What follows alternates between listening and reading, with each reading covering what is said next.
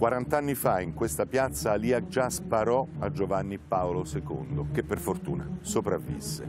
Un attentato pieno di misteri ancora oggi e un pontificato scomodo, difficile, quello di Papa Wojtyła, con un altro mistero che si porta dietro da tantissimi anni, quello della scomparsa di Emanuela Orlandi tra pochissimi minuti su Atlantide.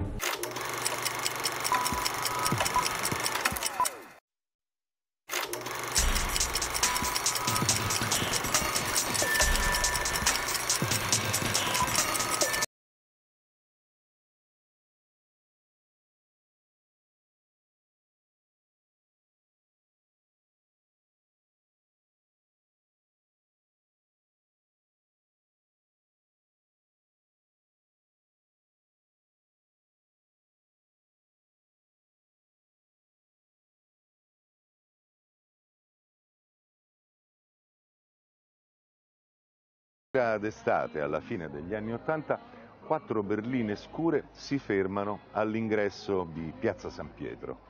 Dalla prima scende l'ammiraglio Fulvio Martini, che è il capo del SISMI, il servizio segreto militare. Da un'altra berlina sbuca fuori Vladimir Kryuchkov, che in quel momento è il capo del KGB, il servizio segreto sovietico.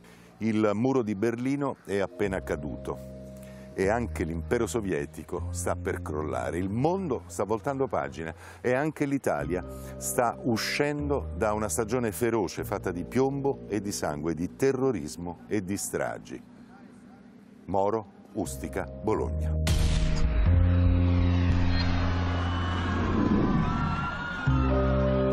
Kryuchkov è venuto a Roma per una visita inedita e molto molto riservata perché è la prima di un capo del KGB.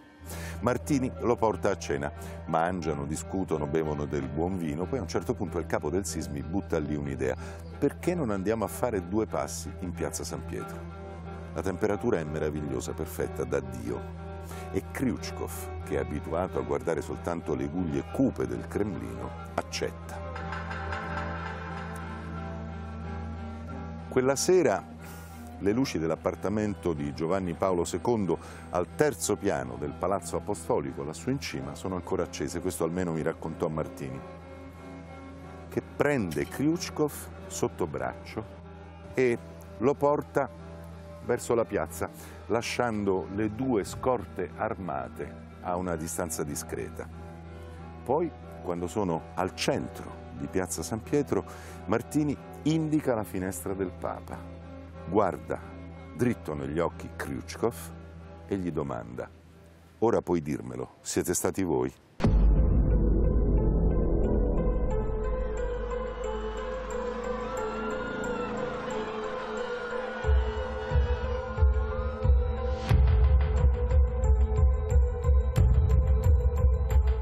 Kryuchkov rimane spiazzato, poi sorride, ma no, no, Martini non si arrende, insiste, glielo domanda un'altra volta. No, sul mio onore risponde Kryuchkov. Poi ritornano alle auto e il corteo scompare inghiottito dalla notte romana.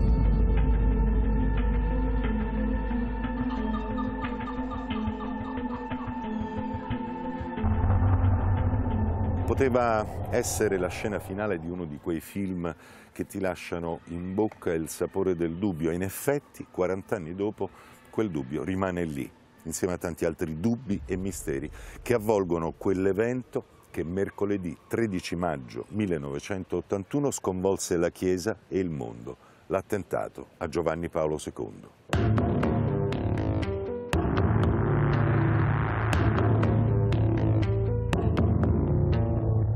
Sono le 17 e 17 minuti. Carol Wojtyła sta per compiere il secondo giro della piazza a bordo della papamobile scoperta. La piazza è gremita di fedeli per l'udienza generale.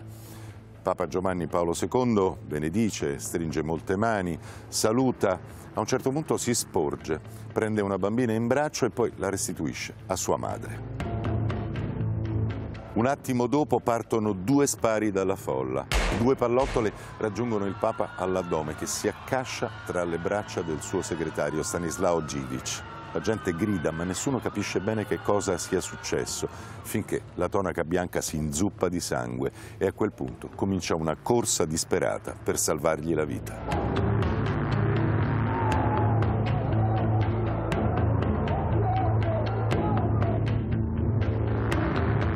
L'autista è stato fenomenale. Sei minuti dall'interno del Vaticano al Gemelli, sei minuti alle 5 e mezzo, 6 di pomeriggio, facendo medaglie d'oro e tutto quanto. Se non è un miracolo questo. A sparare è stato un giovane uomo appostato tra i fedeli. Ha sollevato la sua Browning calibro 9 sopra le teste della gente senza che nessuno se ne sia accorto e dopo aver sparato cerca di fuggire, ma è una fuga molto breve perché indietreggiando inciampa, cade a terra, la pistola gli sfugge dalle mani e una giovane missionaria, Letizia Giudici, che ha assistito alla scena, gli salta addosso e lo blocca. Poi intervengono gli agenti della Polizia di Stato, i gendarmi lo bloccano e lo portano via. Lui non oppone resistenza. Si chiama Mehmet Ali Agca, è un cittadino turco lui si faceva strada ah, perché la folla, man mano che lui avanzava, la folla si apriva così perché aveva paura. E io invece ne ho avuto un attimo di paura, l'ho preso e cercavo di portarlo dentro il portone di bronzo per eh, poterlo poi interrogare.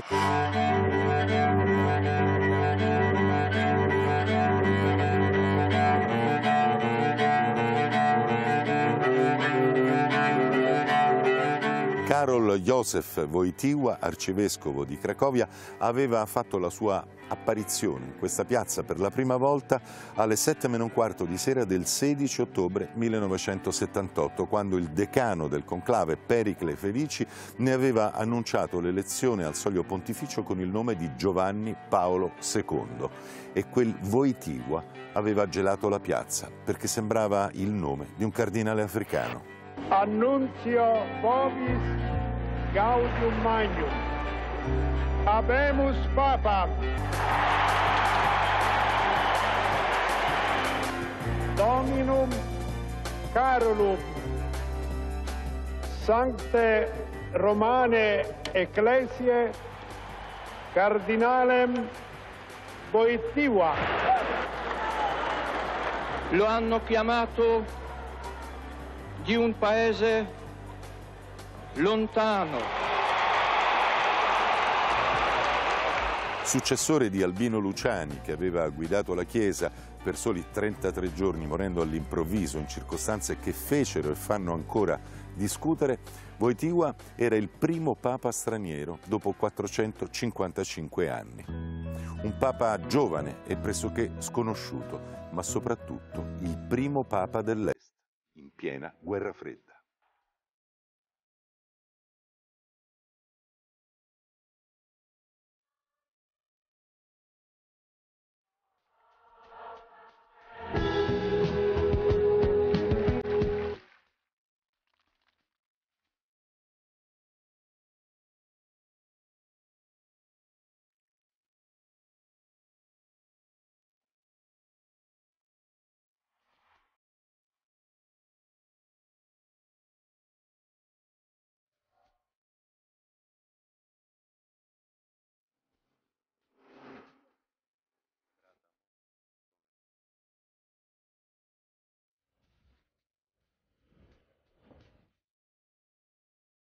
Viva il Papa! Andatis Italien! It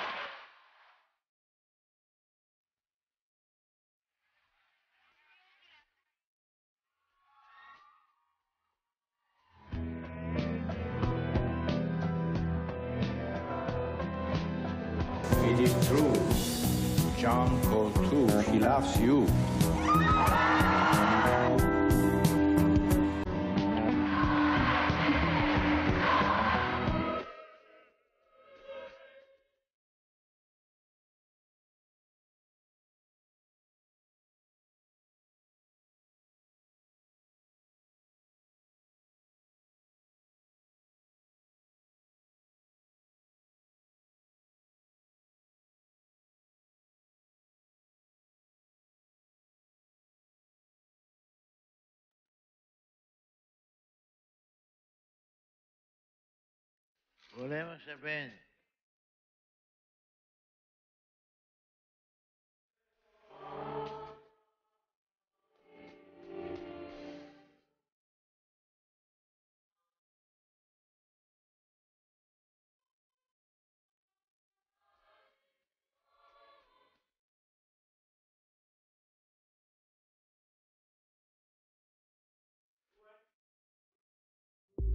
E ora fermiamo per qualche minuto, ma solo per qualche minuto, la ricostruzione eh, dell'attentato di quel maggio del 1981, del 13 maggio 1981 e anche tutte le piste che sono state battute per cercare di arrivare ai mandanti per capire meglio su quale terreno religioso politico e con quali ostacoli si muoveva Carol Wojtyła. Ezio Mauro, editorialista di Repubblica, di cui è stato anche direttore.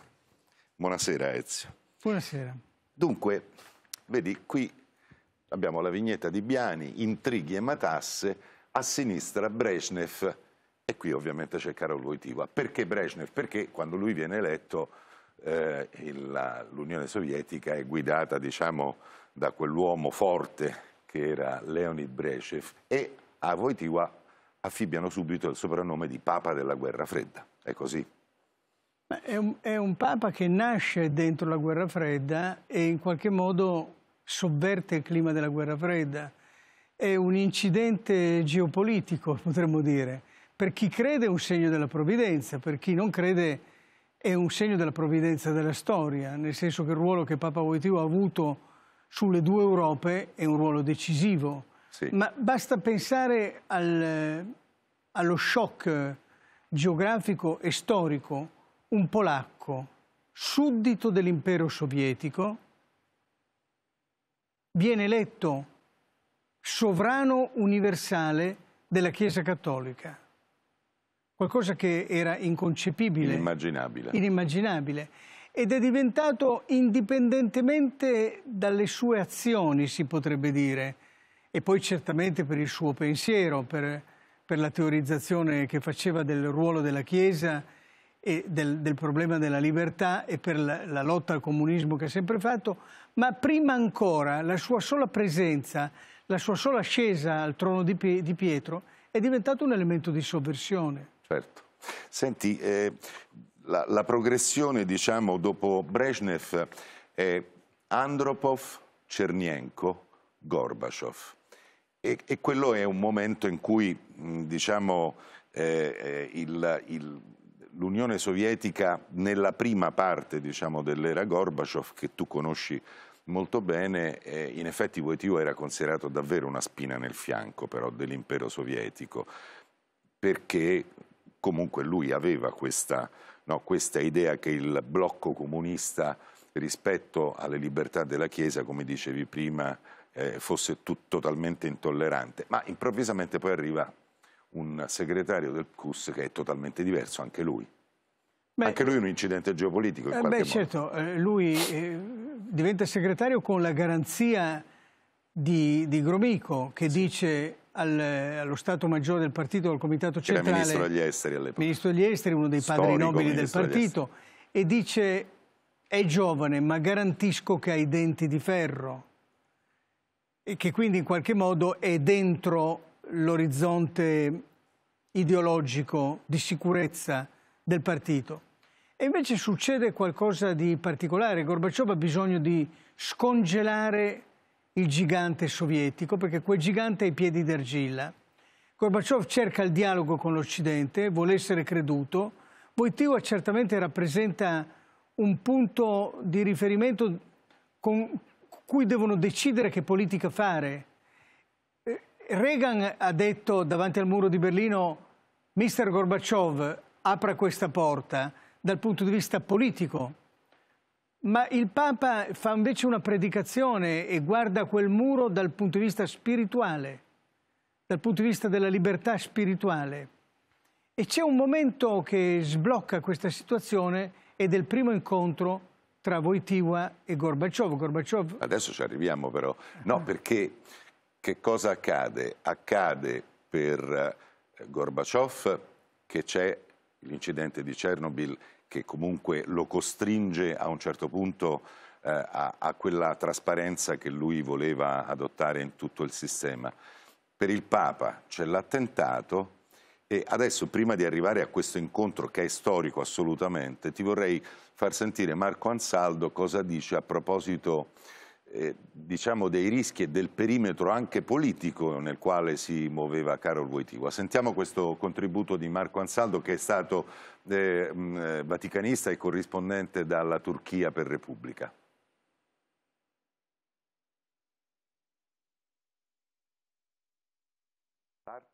Si è sempre pensato, soprattutto nei primi anni del pontificato di Karol Wojtyła, che il pontefice polacco potesse dare fastidio soprattutto al blocco eh, del patto di Varsavia. Eh, naturalmente dobbiamo ricordare che allora il mondo era diviso in due parti eh, contrapposte e, e distinte. Forse di questo l'evidenza lo ha mostrato anche l'attentato del 1981, quindi che arriva quattro anni dopo l'inizio del pontificato di Giovanni Paolo II e eh, di fatti eh, molta fortuna ha avuto la pista bulgara che però non ha mai avuto dei riscontri e delle prove effettive a livello, a livello eh, processuale.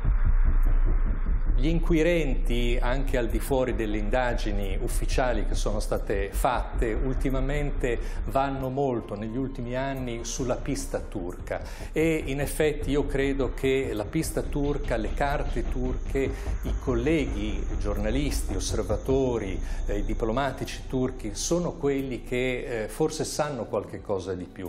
Bisogna anche osservare cronologicamente come sono avvenuti i fatti. Il Papa va eh, in Turchia in visita apostolica nel 1979 alla fine di novembre e quattro giorni prima, soltanto quattro giorni prima, Mehmet Ali Aja esce dal carcere di massima di sicurezza eh, di Kartal Maltepe a Istanbul, manda una lettera al giornale eh, Milliet in cui dice, annuncia ucciderò il capo dei cristiani. Questa cosa in una Turchia blindata nel 79 non accade, però Agia inizia a girare in tondo per 12 paesi e tre continenti diversi, arriva in Italia un anno e mezzo dopo a Piazza San Pietro e lì colpisce eh, Giovanni Paolo eh, II uccide, lo ferisce eh, solamente, ma eh, in ogni caso porta a termine il suo, il suo mandato. Molti guardano oggi ai eh, lupi grigi come non soltanto gli esecutori, ma gli stessi mandanti. I lupi grigi erano alleati dei, del governo militare turco che eh, compie eh, il golpe del 1980. A quel punto il, i militari espellono i lupi grigi dalla Turchia, loro si riversano in Francia, in Austria, in Germania, sono fortemente anti-occidentali, anti-europei, anticristiani, panturchi e pensano di fare la loro vendetta rivolgendosi a questo punto contro chi pensavano li avessero traditi. C'è una lista eh, lunga di obiettivi, tra cui Margaret Thatcher, il Presidente eh, del Parlamento europeo Simon Weil, il Segretario Generale eh, dell'ONU Kurt Waldheim, il eh, Presidente sovietico Leonid Brezhnev e infine il Papa polacco Karol Wojtyła. Mehmet Aliagia e i suoi sodali si concentrano soprattutto sull'obiettivo del Papa polacco.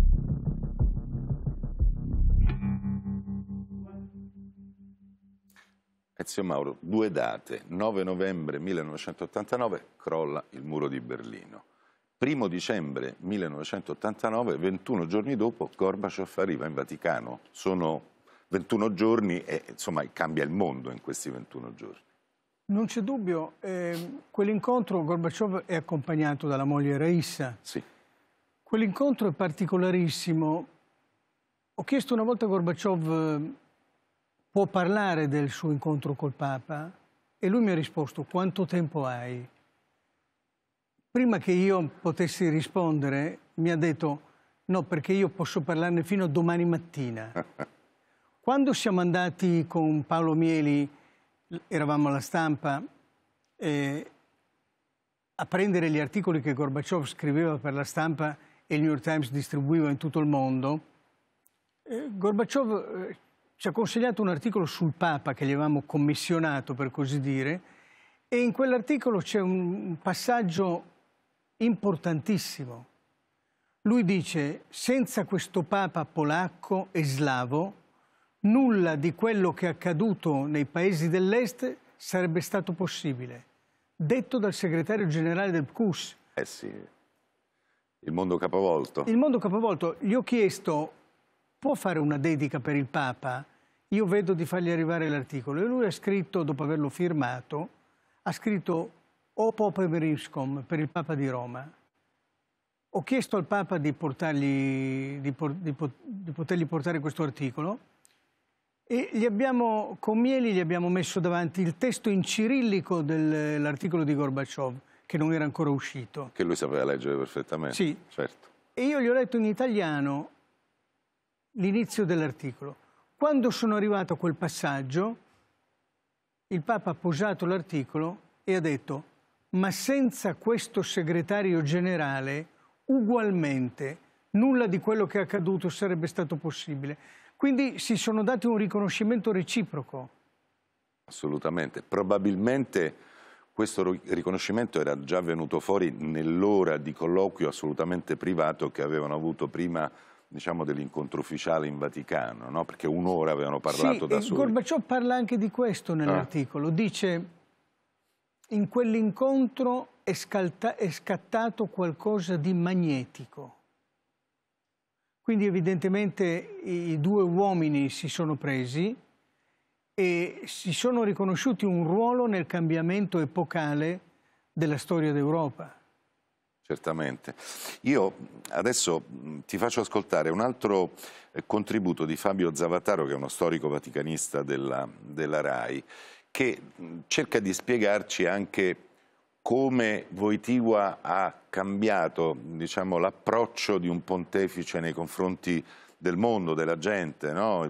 In fin dei conti Voitigua è stato il primo che ha accettato le interviste al volo dei giornalisti, ehm, ha proprio dato questa sensazione di energia dinamica da giovane uomo che era quando è stato eletto. Sentiamo che cosa ha cambiato rispetto a un papa raffinatissimo come Paolo VI, un molto sobrio, sì. e, e, e un altro come Albino Luciani che però per soli 33 giorni ha governato la Chiesa. Sentiamo Zavattaro. Eletto Papa a 58 anni, il pontificato di Giovanni Paolo II durato più di cinque lustri, come dire almeno otto legislature italiane, cinque presidenti degli Stati Uniti. Ha attraversato la storia del XX secolo, lasciando una profonda eredità religiosa. È stato anche testimone e artefice della caduta dei regimi dell'Est. Il racconto del suo pontificato però non può che iniziare da quel non abbiate paura, pronunciato il giorno dell'inizio della sua missione, con l'invito ad aprire le porte a Cristo, i confini degli stati, i sistemi economici come quelli politici. È il primo Papa che oltrepassa la cortina di ferro, 1979. Viaggio nella Polonia ancora sotto tutela del regime comunista di Mosca. Il suo italiano, segnato da alcune parole latine, se mi sbaglio mi corrigerete, ha subito vinto per simpatia. È stato chiamato il nuovo Mosè, il Globetrotter di Dio per i suoi numerosi viaggi. Eh, si è misurato con la crisi del cattolicesimo, con un Occidente secolarizzato, sempre più come leader globale. E anche il Papa che ha messo il concilio come guida del XX secolo ha compiuto gesti che sono davvero passati alla storia. La visita alla sinagoga di Roma, l'abbraccio con il rabbino capo Toaf, un viaggio di pochi chilometri per i quali sono occorsi duemila anni. Al Tempio Maggiore ha ribadito con forza il no del concilio all'antisemitismo. A ottobre 1986 ha voluto ad Assisi i leader di tutte le religioni insieme per pregare per la pace. Ancora a Berlino, non più divisa dal muro, quel passare sotto la porta di Brandeburgo da ovest verso est, giugno 96, per dire che la libertà non è un lasciapassare. Parole che nascondono la preoccupazione di un mondo che si allontana sempre più da valori e verità. all'inizio della Quaresima del 2000 in San Pietro, vuole la giornata del perdono, sette mea culpa per le violenze, discriminazioni e colpe compiute dalla Chiesa nei secoli. È il Papa che con forza chiede pace andando a Sarajevo, a Beirut, ancora ferite dal conflitto, che dice mai più la guerra prima dell'attacco americano in Iran. Inventa le giornate mondiali della gioventù e il 13 maggio 81 è il giorno buio, il giorno dell'attentato in piazza San Pietro. Dirà una mano ha sparato e una mano materna ha guidato il proiettile.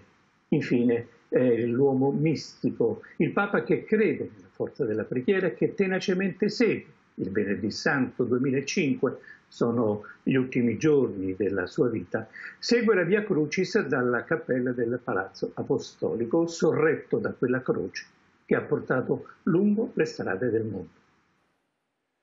Era stato già Papa Luciani diciamo, a, a spostare un po' l'asse della devozione verso, verso Maria, verso, ma certamente Voitiva, anche lui diciamo, è un devoto della, della Madonna, no? Un... Qualcosa di più, non dimentichiamo che il suo motto è totus tuus. La sua, potremmo, dirla, potremmo definirla così, è una sorta di fede primitiva, eh, non nel senso culturale, eh, nel senso della totalità.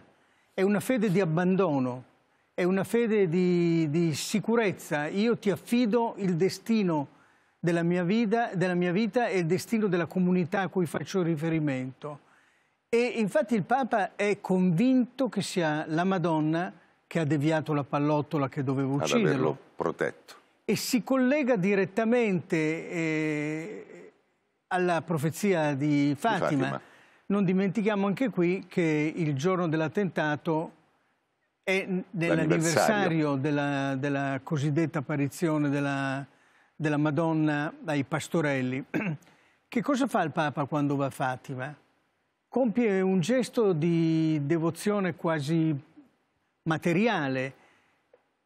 Prende il proiettile di Achka, sparato per ucciderlo, e lo incastona con le sue mani direttamente nella corona della Madonna di Fatima con questo gesto piega la curva della profezia mariana fino a farla coincidere con la curva della propria biografia personale, eh sì. ponendosi come il predestinato del disegno divino, perché non dimentichiamo che nella, mm, nel, nel terzo segreto cosiddetto di Fatima, Suor Lucia dice di aver visto il, le fiamme dell'inferno, di aver visto la, guerra, la scena della guerra mondiale di aver visto il totalitarismo sovietico e di aver visto il Papa vestito di bianco vestito. che saliva la collina e veniva ucciso. Sì.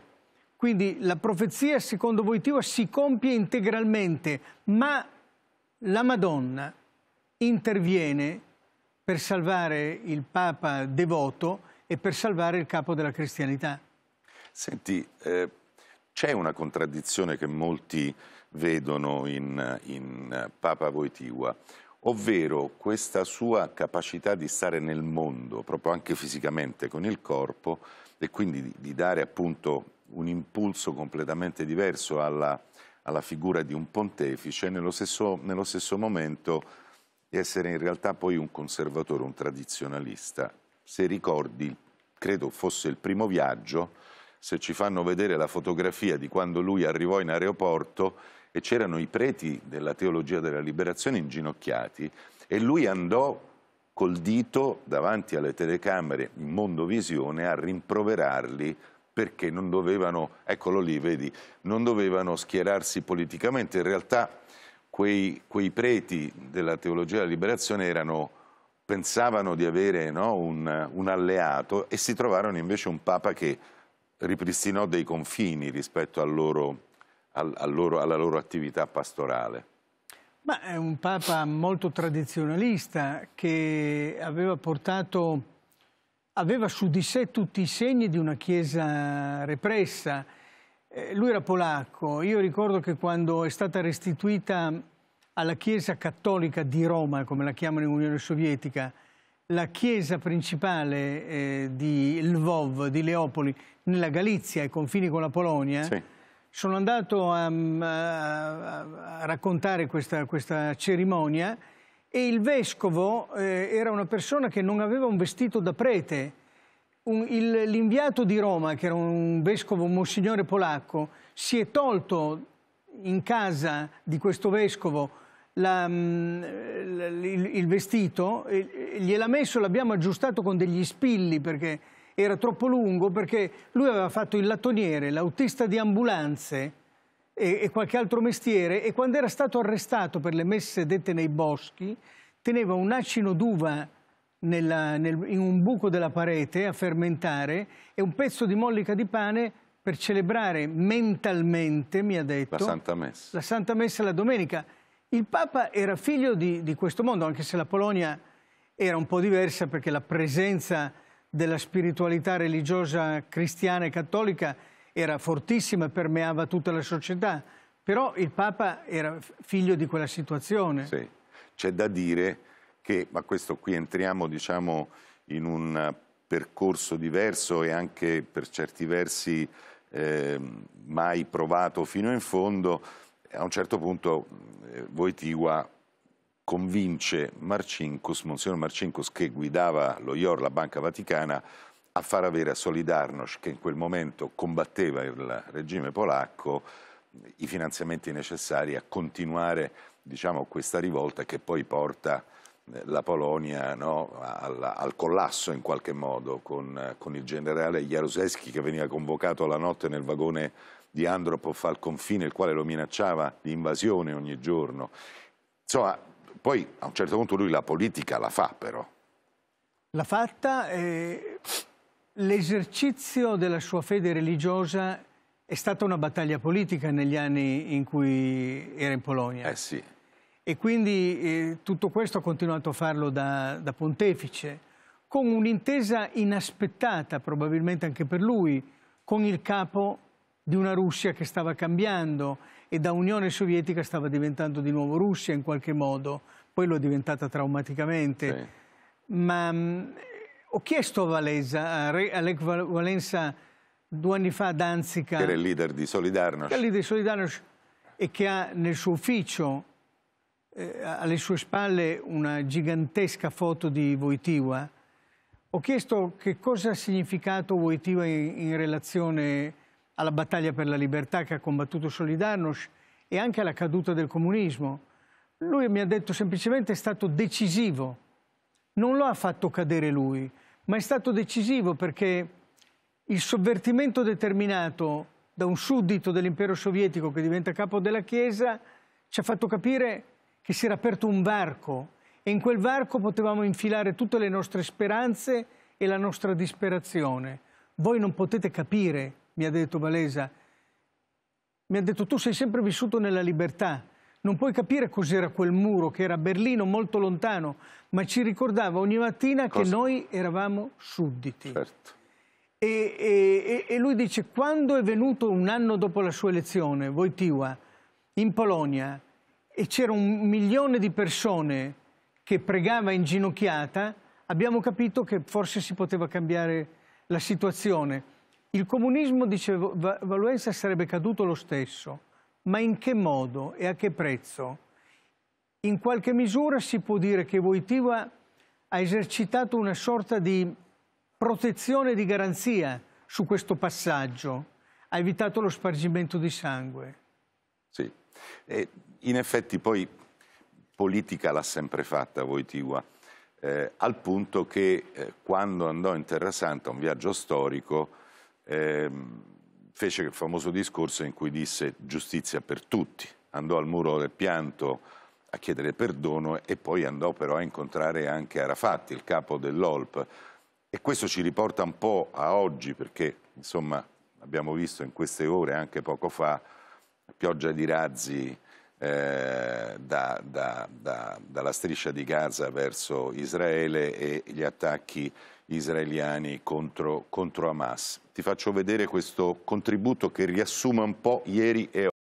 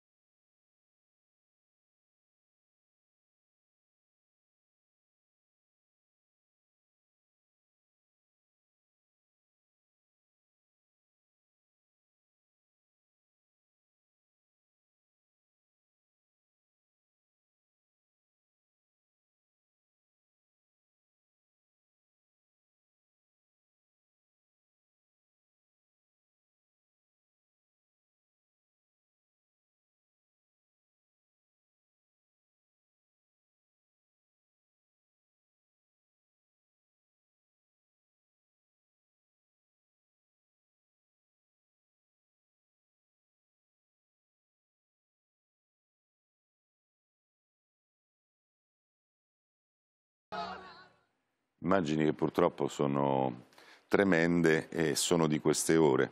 Speriamo che davvero diciamo, la situazione si, si, congeli quanto prima. Eh, Papa abbiamo visto già, già malato, già eh, affaticato, però molto determinato. Tant'è che lui voleva anche andare in Iraq e poi ci andrà invece Francesco, non gliel'avevano consentito in quel momento. Cioè, fisicamente esprime prima con l'energia di cui parlavi, questa vitalità, sì. che ricorda un po' la vitalità di Gorbaciov nei suoi primi anni, eravamo abituati all'immobilismo monumentale di Cernenko, no? Sì. Eh, la disinvoltura di Gorbaciov era... Certo, proprio un cambiamento anche antropologico sì, sembrava. Sì. E, e Wojtyła anche porta questo, questo stile completamente diverso e questo impegno anche fisico nel, nel, nel, nella sua testimonianza. E poi questo corpo ormai degradato che il Papa trascina con un senso del sacrificio per il dovere che deve compiere. Queste immagini si, si, ce lo ricordano, no? Perché sì, sì, si possono benissimo interpretare ce, così. Ce lo ricordiamo. L'altro elemento è quello di questa politica estera globale che il Papa sta giocando, mi ricordo che negli anni in cui ero corrispondente da Mosca, guardando spesso all'azione di Wojtyła come pietra d'inciampo per il potere sovietico, mi sono detto che era una figura che non c'era stata in precedenza e non ci sarà più dopo, perché univa due aspetti, l'antisovietismo e l'anticomunismo radicale, con una cultura che potremmo definire a occidentale. No, non aveva un punto di vista occidentale, aveva un'idea dell'Europa completamente diversa che riecheggiava addirittura, un paradosso, alcuni elementi della Casa Comune Europea di Gorbaciov, no? Sì.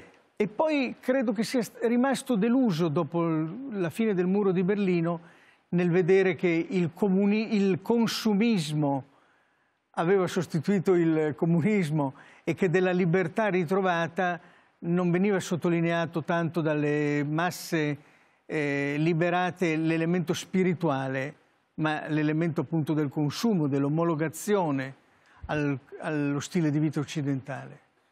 Ezio Mauro, io ti ringrazio di questo prologo utile ma necessario, perché attraverso questo prologo adesso fra pochi minuti di pubblicità entriamo dentro la storia di quell'attentato che ancora contiene moltissimi misteri. Grazie. Dubbio. Pochissimi minuti e torniamo.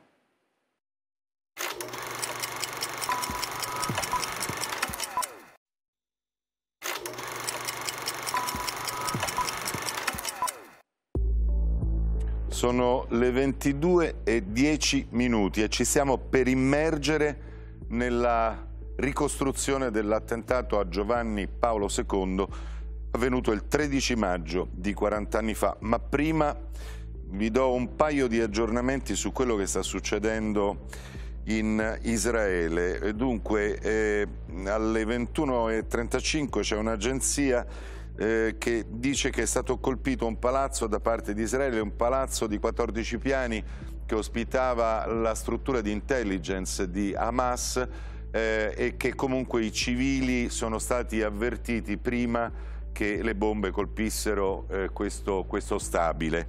E poi c'è un'altra notizia che da Canale 12, eh, una tv israeliana, sostiene che Israele si appresta a colpire anche alcuni simboli del potere di Hamas nella striscia di Gaza, ovvero il Ministero delle Finanze, ad esempio.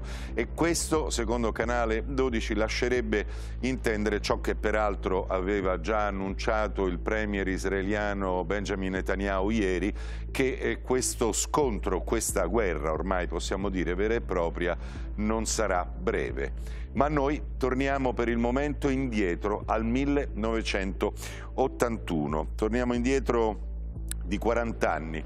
Non so se vi ricordate che cosa accadeva in Italia nei mesi che precedettero l'attentato a Giovanni Paolo II. Se non ve lo ricordate, ve lo ricordiamo noi con questo breve filmato.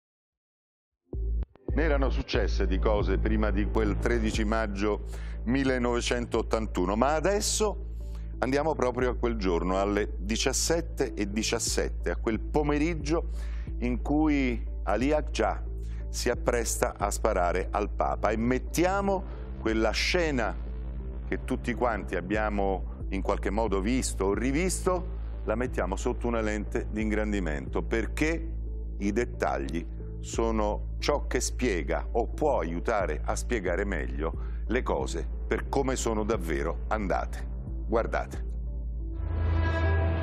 Roma, città del Vaticano, 13 maggio 1981. Un giorno che si imprimerà a fuoco nella memoria dell'umanità. Il Papa resta vittima di un attentato nel cuore di Piazza San Pietro. Oggi cardinale di Cracovia, Stanislav Givish è allora il segretario di Giovanni Paolo II e siede nella vettura accanto al pontefice. Tutto succede mentre il Papa sta per iniziare l'udienza generale. Alle 17.17 .17, improvvisamente si odono gli spari. Era il secondo giro della piazza. È allora che si sono uditi gli spari e subito ho capito che era successo qualcosa di brutto e molto grave.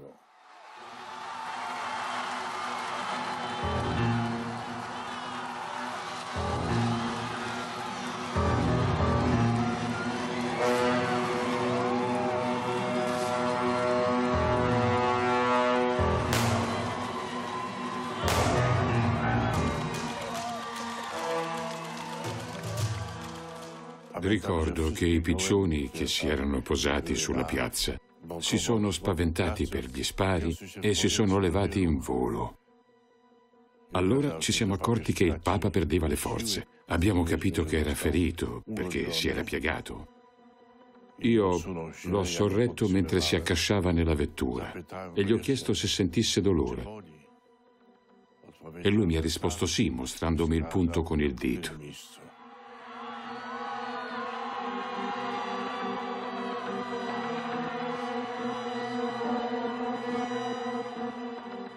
Il colpo gli aveva attraversato il corpo. Il proiettile è caduto esattamente fra me e lui, all'interno della papamobile. Non so dove sia finito il secondo, perché non è mai stato ritrovato, ma ci sono stati due spari. La pallottola ha colpito il Papa all'addome. È ancora possibile salvarlo? Con una corsa disperata viene portato in gravissime condizioni al vicino Policlinico Gemelli.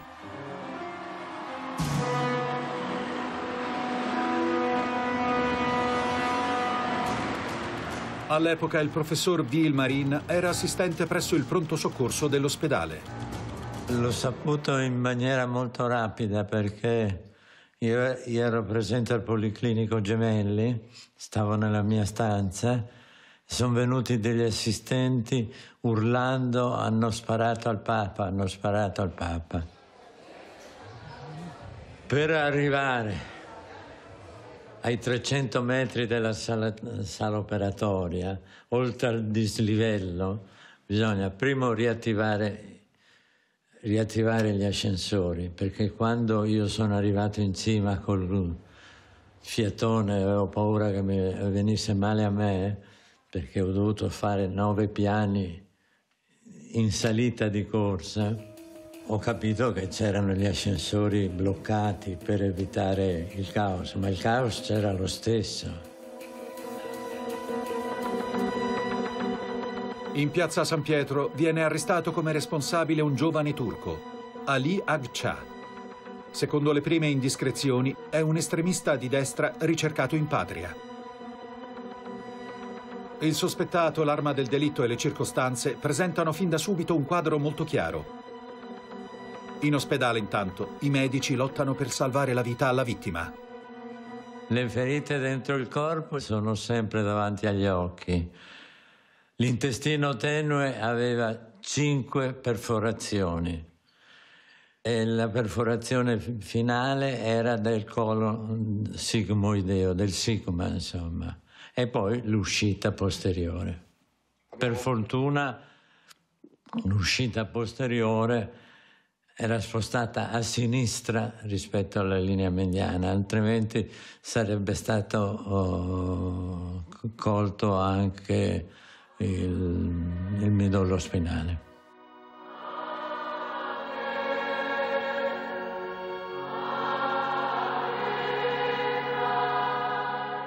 In serata migliaia si radunano in piazza San Pietro. Temono, pregano e cantano per il loro Papa.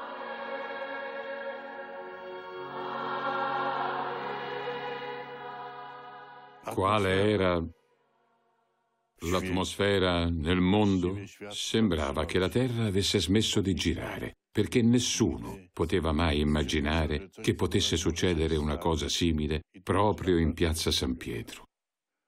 Un vero martirio. Giovanni Paolo II è già considerato il Papa del secolo, il primo polacco sul soglio di Pietro. Un Papa carismatico, con il dono di conquistare gli uomini. Per molti è un inviato del cielo, per altri una figura controversa. Ad ogni modo, una guida forte per la Chiesa, con una qualità quasi profetica. Ali Agcha, il killer, sembra un attentatore solitario. Un uomo apparentemente confuso. Qual è il suo movente? La sera prima dell'attentato prende una camera all'Hotel Isa, vicino Piazza San Pietro. Mi ricordavo di lui soprattutto per la nazionalità, era un cliente turco. I clienti turchi sono molto rari e difficili che girano, quindi mi ricordavo. Era già venuto da noi due volte, un tipo molto tranquillo, quindi quando abbiamo visto la sera le notizie in televisione eh, sono rimasto quasi scioccato perché era una persona tranquillissima, tra l'altro aveva anche pagato anticipato, quindi un ottimo cliente possiamo dire. Akcha è davvero un cane sciolto? Oppure è stato aiutato? Le indagini mettono in luce molte contraddizioni.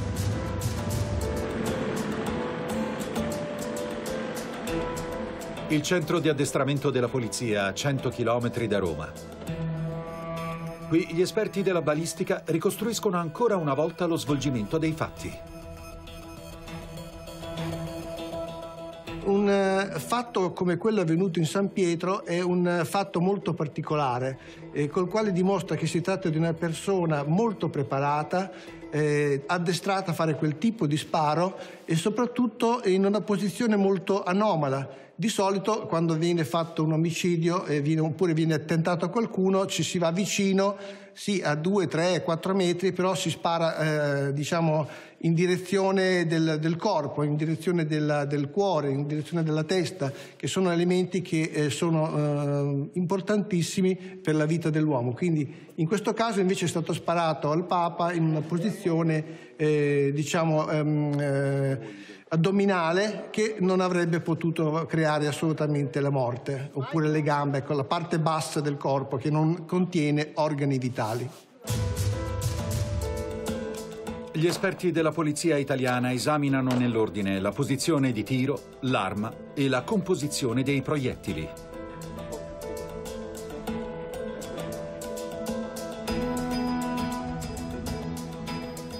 Ecco, una pistola semiautomatica eh, con eh, un, bossolo, un bossolo che è stato trovato sulla scena del crimine in piazza e un proiettile. Quindi questi sono due elementi che formano una cartuccia che è stata sparata da questa pistola e abbiamo accertato che questa è l'arma utilizzata per il tentato omicidio del Papa. Una cosa molto particolare di questo proiettile, noi vediamo che è un proiettile camiciato, non è un proiettile in piombo, quindi è un proiettile che non uccide, ma ferisce soltanto. Per cui eh, non è stata utilizzata una pistola che, che uccidesse il Papa, è stata utilizzata una pistola che la ferisse soltanto. Sono risultati che possono cambiare completamente la prospettiva dell'attentato. È possibile che l'attentatore o gli attentatori volessero mandare un avvertimento? Sparando alla persona, possibilmente non, uccid non ucciderlo perché ucciderlo avrebbe tolto di mezzo eh, l'interlocutore. Loro avevano bisogno di un interlocutore eh, morbido, di un interlocutore da limitare in qualche modo. Ecco perché lasciarlo in vita. Akça aveva forse solo intenzione di ferire il Papa? E se sì, chi gli ha dato l'ordine di farlo? Nella vasta letteratura sull'argomento, gli esiti degli esami balistici italiani hanno ricevuto scarsa attenzione. Uno dei maggiori esperti su quei fatti è il giudice istruttore Rosario Priore.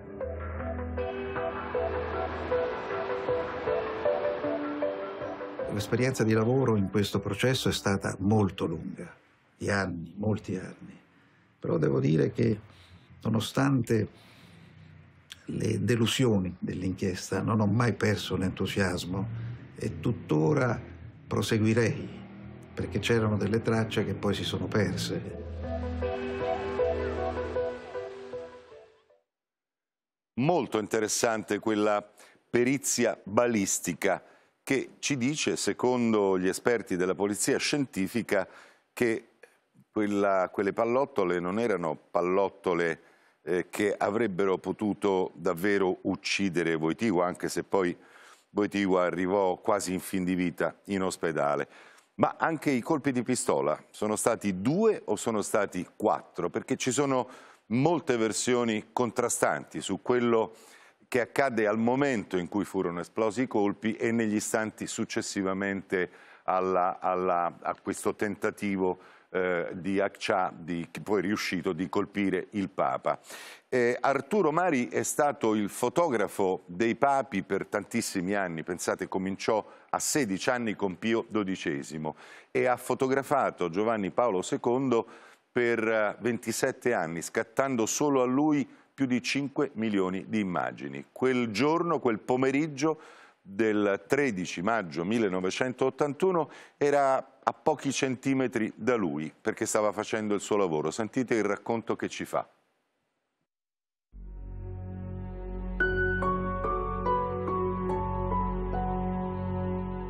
Il 13 maggio 1981, giornata normale come tutte le altre né più né meno, stesso tragitto, stesse cose, soltanto che quando siamo arrivati quel maledetto giorno all'altezza del colonnato di destra e lì è successo quello che è successo, tutti sappiamo quello che, che è avvenuto.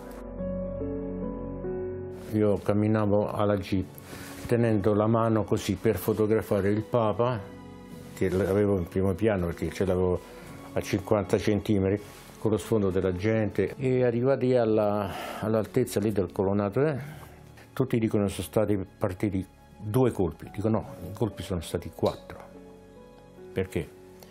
I due colpi ufficiali che hanno preso il Santo Padre è stato a Liaccià, per cui il primo colpo l'ha preso sul dito e la pallottola ha schizzato e è uscita fuori.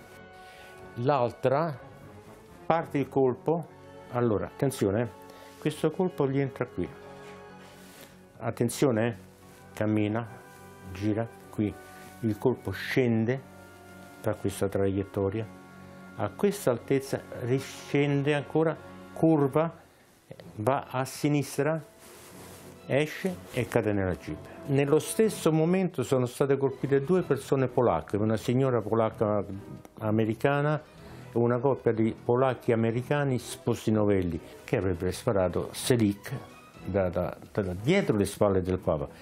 La jeep è partita di corsa, siamo diventati internamente al Vaticano e davanti al FAS dove è il pronto soccorso lì, eh, hanno adagiato il Santo Padre in terra perché non c'era niente. Lui stava sdraiato così con le mani poggiate sul basso ventre che si teneva così. Lui ha detto la parola Madonna mia assisti, non, non mi abbandonare. L'autista è stato fenomenale. Sei minuti dall'interno del Vaticano al Gemelli e sono arrivato dieci minuti dopo del Papa, che lui già stava in sala operatoria e sono rimasto lì e poi alle alla notte intorno, erano le 4 quasi, abbiamo saputo che fuori pericolo era in vita. Il terzo giorno dopo l'intervento eh, io avevo parlato col Cardinal Casaroli, il segretario di Stato, perché che succedeva fuori al Gemelli? Fotografi, operatori si stavano ammazzando perché fare, se vestivano da infermiere dentro per fare una fotografia al Papa. Come sta? Stai alla porta, entro, come mi vede? Ci vedi, figlio mio, siamo vivi, c'è la Madonna ci ha salvato.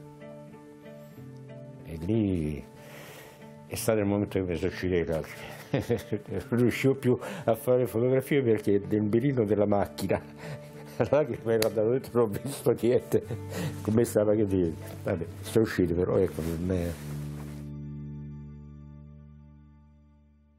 incredibile la traiettoria di quella pallottola che ricorda anche un'altra traiettoria eh, la pallottola che uccise John Fitzgerald Kennedy a Dallas, anche quella fu definita una pallottola intelligente perché aveva fatto un percorso stranissimo e però dal punto di vista di Giovanni Paolo II a consentirgli eh, di eh, diciamo, sopravvivere a quello sparo e quindi a deviare il corso di quella pallottola sarebbe stata la Madonna di Fatima. Ma adesso tra un po' entriamo anche nel racconto di cosa accade subito dopo, fra appena pochi minuti di pubblicità.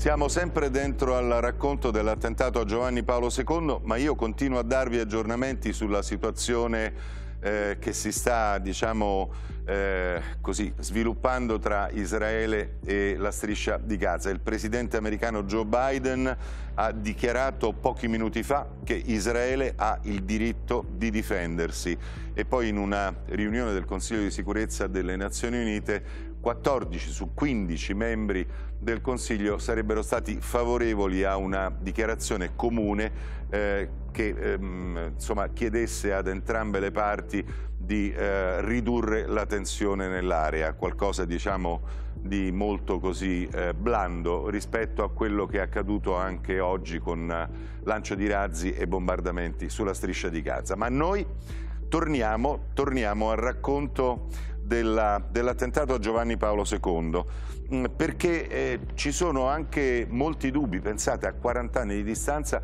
su chi davvero bloccò Ali Akça nel momento in cui cominciava a fuggire da piazza San Pietro. Si è sempre detto, e l'ho detto anch'io all'inizio di questa puntata che insomma, la storia è che eh, una missionaria di 30 anni, la suor Letizia Giudici, avrebbe visto Akja mentre scappava, sarebbe saltata addosso e lo avrebbe bloccato, poi Akja sarebbe stato preso dalla polizia. Ma qui c'è un altro testimone, attore di quella scena che si chiama Ermenegildo Santarossa, un gendarme pontificio che per 40 anni non ha mai parlato e lo ha fatto soltanto in questi giorni per Rai News 24 e adesso per Atlantide. Sentite la sua versione.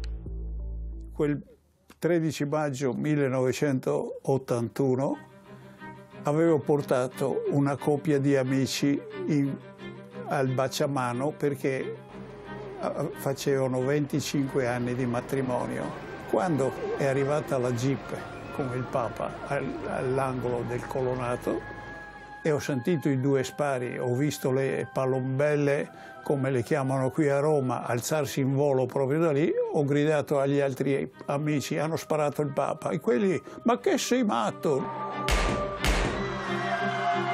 Sono corso e, e l'aiutante di camera Franco Ghezzi, quando mi ha visto Santa Rossa, e prendelo, è quello che viene avanti con la pistola che ha sparato il Papa. Lui si faceva strada perché la folla, man mano che lui avanzava, la folla si apriva così perché aveva paura. E io invece ho avuto un attimo di paura, l'ho preso e cercavo di portarlo dentro il portone di bronzo per eh, poterlo poi interrogare. Abbiamo preso calci, pugni per poterlo salvare perché la gente voleva linciarlo. E lui mi disse queste tre parole mentre lo stringevo. Mi ha detto non ho fatto niente per tre volte, non ho fatto niente, non ho fatto niente. C'è la foto dell'attentato che si vede, questo sono io, coi capelli bianchi e questo è l'attentatore Ali Gaccia. Alla fine, quando, dopo averlo portato dentro, sono andato a raccogliere la pistola e l'ho raccolta proprio io, che lui, eh, quando è stato a un metro e mezzo da, di, di, fronte a me, me l'aveva quasi tirata addosso, insomma è caduta ai miei piedi, quella pistola eh, ha fatto partire soltanto due colpi ed è veramente, scusate ma mi commuovo a ricordare, è stato proprio il miracolo a salvare Papa Giovanni Paolo II, la Madonna di Fatima, perché quella pistola non si inceppa mai, invece il terzo colpo non è mai partito. Papa Giovanni Paolo II, alcuni anni dopo ci siamo incontrati, abbiamo ricordato un po' e lui mi ha ringraziato e mi ha chiesto avvenimenti di quel giorno e quindi ho molti, molti bei ricordi. Sono passati tanti anni, non ho mai rilasciato interviste prima di adesso perché forse mi sono invecchiato e adesso mi, è rimasto ben poco da vivere e allora voglio che anche la verità venga anche un po' fuori.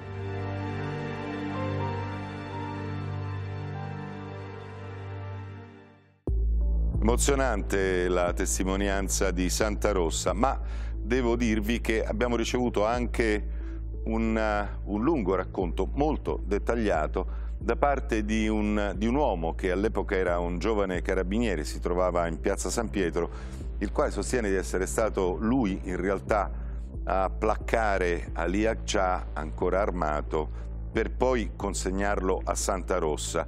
Eh, tutte queste, queste diciamo, ricostruzioni, queste testimonianze che arrivano anche a distanza di 40 anni possono sembrare inutili, ma in realtà ci dicono una cosa, che nonostante sia passato tutto questo tempo, ancora i dettagli esatti di quello che è accaduto il 13 maggio 1981 non li conosciamo. È mai possibile, guardate.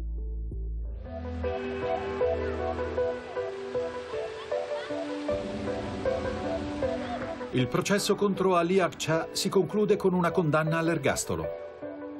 Nel 2000, dopo 19 anni di detenzione, Akça ottiene la grazia e viene estradato in Turchia.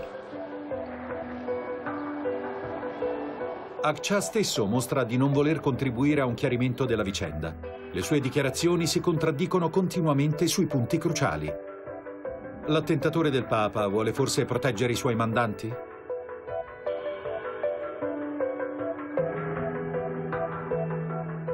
Ali Akça sin dal primo momento ha finto, ha finto quasi continuamente. Caccià riteneva di portarci per mano, in un certo senso, però certe volte ci portava per mano fino a un certo punto e poi ci buttava, perché chi, se, chi lo seguiva poi si trovava in certi momenti privo di qualsiasi prova solida che potesse supportare la costruzione. Akça era era uno che recitava benissimo e quindi in un certo senso ha giocato molti inquirenti, molti uomini delle polizie giudiziarie e addirittura anche l'opinione pubblica. Durante le sue apparizioni pubbliche, Akça non dà l'idea di essere un killer spietato, ma piuttosto un individuo confuso. Si autoproclama Gesù Cristo, incolpa i servizi segreti Spiega la sua conversione al cristianesimo e di nuovo si professa credente nell'Islam. Personalmente io so benissimo che Ariachka non è pazzo, non lo era finché non decise di diventarlo. Due anni dopo gli spari in piazza San Pietro, Giovanni Paolo II visita in carcere il suo attentatore. Dal punto di vista del Papa è un atto di perdono. Dal punto di vista dell'attentatore, è forse un'ulteriore occasione per confondere le carte? La scena del pentimento è vera o recitata? In seguito Akça dirà che entrambi hanno parlato della fanciulla di Fatima e del suo ruolo salvifico al momento dell'attentato.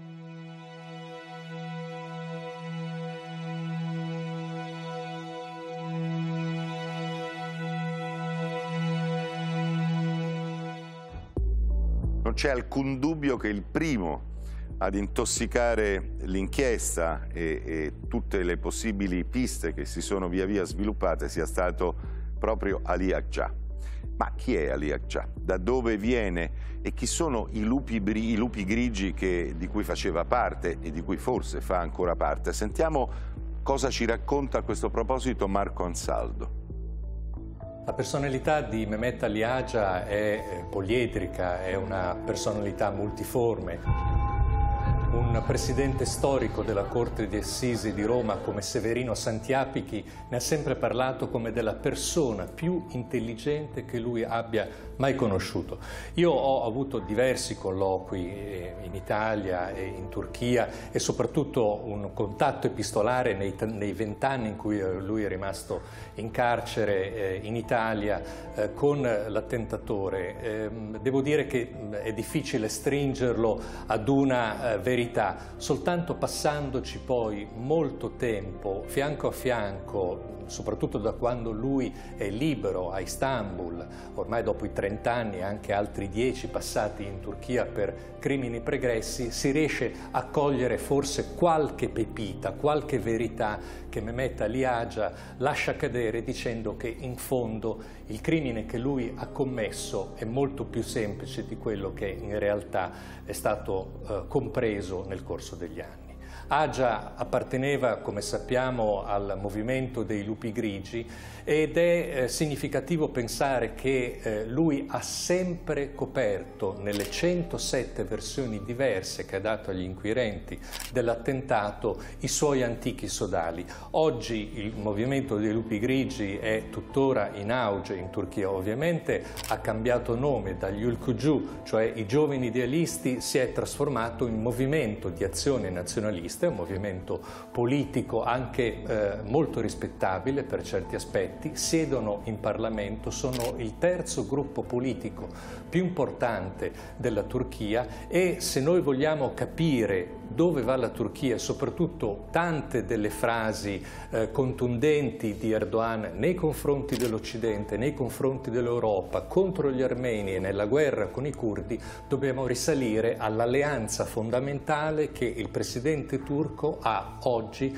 con i lupi grigi. Senza lupi grigi, senza questa coalizione elettorale, Erdogan alle urne perderebbe.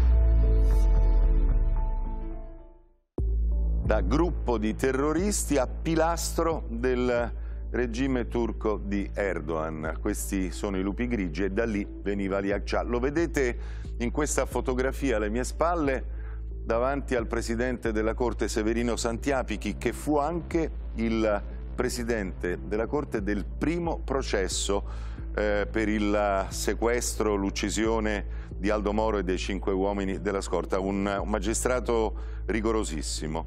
Ma eh, il punto adesso è che cominciano le piste e la prima pista che viene battuta dagli investigatori porta ad est, perché ci si domanda, Wojtyła era considerato un pericolo così grave per il blocco sovietico da spingere i servizi segreti dell'Est a togliergli la vita? Guardate che cosa ci dice questa nostra ricostruzione. Gli inquirenti italiani incontrano numerose difficoltà, troppe teorie, troppi possibili moventi. Ma viste le prove raccolte, sembra improbabile che un attentatore solitario in stato confusionale arrivi a tanto. Perché proprio io? Deve essersi chiesto il Papa subito dopo gli spari. Egli stesso ha forse un'idea dei possibili mandanti?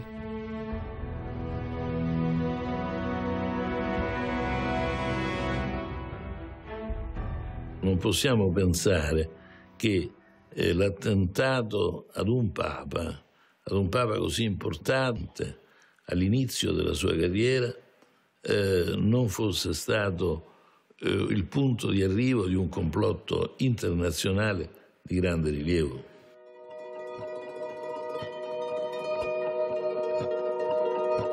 Il nuovo Papa suscita invidie e ostilità, dentro e fuori la Chiesa. I potenziali mandanti di Ali Akça possono essere stati i servizi segreti stranieri, ma anche oppositori pronti a tutto all'interno della stessa curia. Del resto, in secoli lontani, l'omicidio era una pratica purtroppo frequente per risolvere le dispute interne alla Chiesa. Era molto probabile quindi che Accia non fosse solo nella piazza, ma che insieme a lui ci fossero altre, delle altre persone a conoscenza di quello che Accia avrebbe fatto. E questo, diciamo che nel corso della lunga indagine che ha portato al processo eh, nei confronti di Accia, nei confronti dei suoi complici, è apparso reale. Eh, di uno si sa anche il nome, Oral Selic, che sarebbe stato fotografato mentre fugge dalla piazza la polizia interroga centinaia di testimoni oculari ed esamina tutte le foto e i filmati ripresi al momento dell'attentato in piazza. Un'immagine indirizza i sospetti verso est. Mostra un uomo, il caposcalo della compagnia di bandiera bulgara, ma che, secondo il parere degli inquirenti, appartiene ai servizi segreti del suo paese. Si chiama Sergei Antonov. L'ordine è forse partito da lui e dunque dal blocco dei paesi comunisti? a quel tempo emerse quasi subito, immediatamente, una pista bulgara e viene fuori dalle stesse dichiarazioni di Akça. In Bulgaria ci sono stato tante volte. Ai giornalisti in attesa, Ali Akça grida di essere stato addestrato in Bulgaria. Una missione che all'epoca fa molto scalpore e che trova ancora oggi diversi sostenitori. In pratica noi avevamo fatto fare un'expertise e poi dopo anche un secondo expertise di controllo per sapere esattamente chi era quell'uomo con i capelli neri, gli occhiali neri, i baffi neri, basette nere, che era accanto ad Ali Achka mentre Ali Achka sparava al Papa. Era stato detto che fosse un turista americano, noi abbiamo sottoposto queste foto ad un'indagine di anatomopatologi eh, che usano i computer per fare i loro raffronti ed è emerso per due volte molto chiaramente con una percentuale di 98-97% di credibilità, quindi moltiplicata due praticamente assolutamente identica, che quell'uomo che era accanto ad Aliashka non era un turista americano, ma era il signor Antonov, formalmente capo delle aerolinee bulgare in Italia, ma in realtà il capo stazione del servizio segreto bulgaro. Questo capovolgeva tutte le altre ipotesi. Gli spari contro Giovanni Paolo II sono dunque un'operazione bulgara ordinata da Mosca?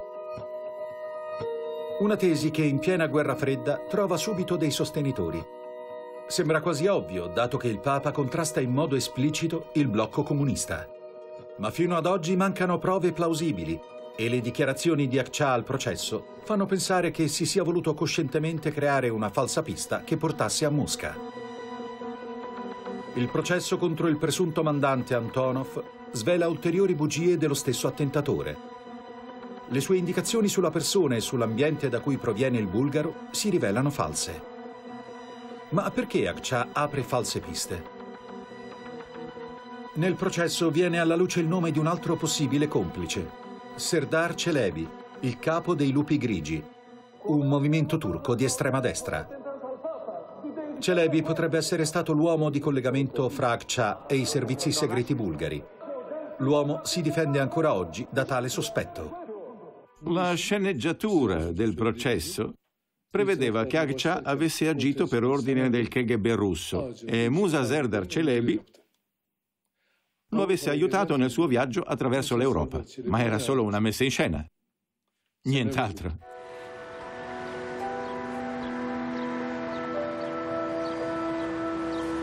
La spiegazione dell'accaduto si trova forse nella patria del colpevole, in Turchia? Ali Akça, orfano di padre, è attirato ben presto dall'ambiente dei cosiddetti lupi grigi. Sotto la guida di Alparslan Türkeş. Negli anni 70 questo raggruppamento di estrema destra si macchia di oltre 600 omicidi, soprattutto fra politici liberali e giornalisti.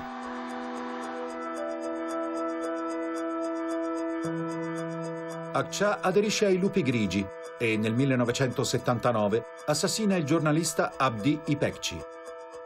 Viene arrestato e condannato al carcere, ma di lì a poco riesce ad evadere, probabilmente con l'aiuto di elementi della polizia o dei servizi segreti.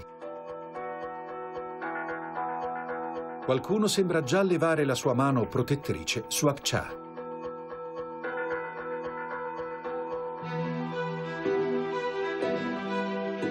I servizi segreti dell'Europa dell'Est potrebbero avere quantomeno un chiaro movente. Giovanni Paolo II è un fiero oppositore del comunismo ateo e questa campagna sta facendo vacillare soprattutto il regime comunista nella sua patria, la Polonia. Il potere politico è sì un potere, ma non è il solo potere al mondo. Esiste un potere che l'uomo può chiamare potere, che è il potere degli uomini. Il sindacato libero polacco Solidarność si giova di un palese sostegno da parte del Papa. Nella Polonia cattolica si forma così un'alleanza che diventa pericolosa per il potere comunista. Si mettono a punto strategie contro il Papa e la sua politica, ma addirittura spingersi al punto da organizzare ed eseguire un attentato?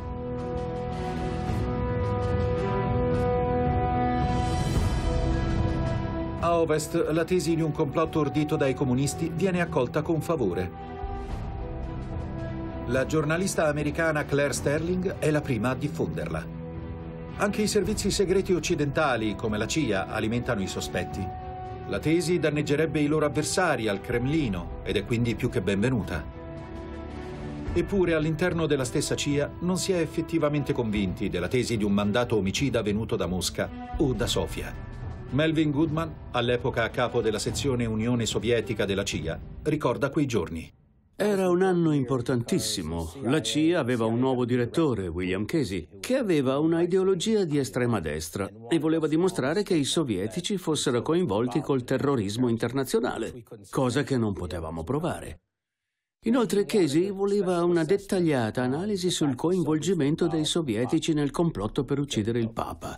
Ma ancora una volta non solo non c'erano prove credibili, ma avevamo ragione di credere che non solo i sovietici non c'entrassero nulla, ma che avessero avvertito i bulgari che gruppi di estrema destra soprattutto fuori dalla Turchia, erano coinvolti in queste trame ed era quindi consigliabile mantenere le distanze. La pista bulgara venne fabbricata con l'intervento di alcuni giornali che più tardi, di alcuni giornalisti che più tardi sapremo lavorare per testate legate in qualche modo alla CIA. Avevamo una riunione con Bill Casey dove volevamo confutare la sua posizione quando ha affermato Sapete, l'altro giorno, tornando a casa, ho comprato il libro di Claire Sterling sul terrorismo e ho imparato più cose da lei sul terrorismo sovietico che da tutti voi messi insieme. Quello che abbiamo cercato di fare è stato spiegare che molte delle argomentazioni di Claire Sterling nel libro, che giudicavamo pessimo, erano esempi di disinformazione e cattiva informazione che la CIA diffondeva in Europa, per far sì che la stampa europea facesse apparire l'Unione Sovietica come responsabile. Infatti una cosa che la direzione generale della CIA cercava di fare a livello operativo era proprio mettere in imbarazzo i sovietici accusandoli di coinvolgimento nell'attentato al Papa. Ma la strategia ci si è ritorta contro.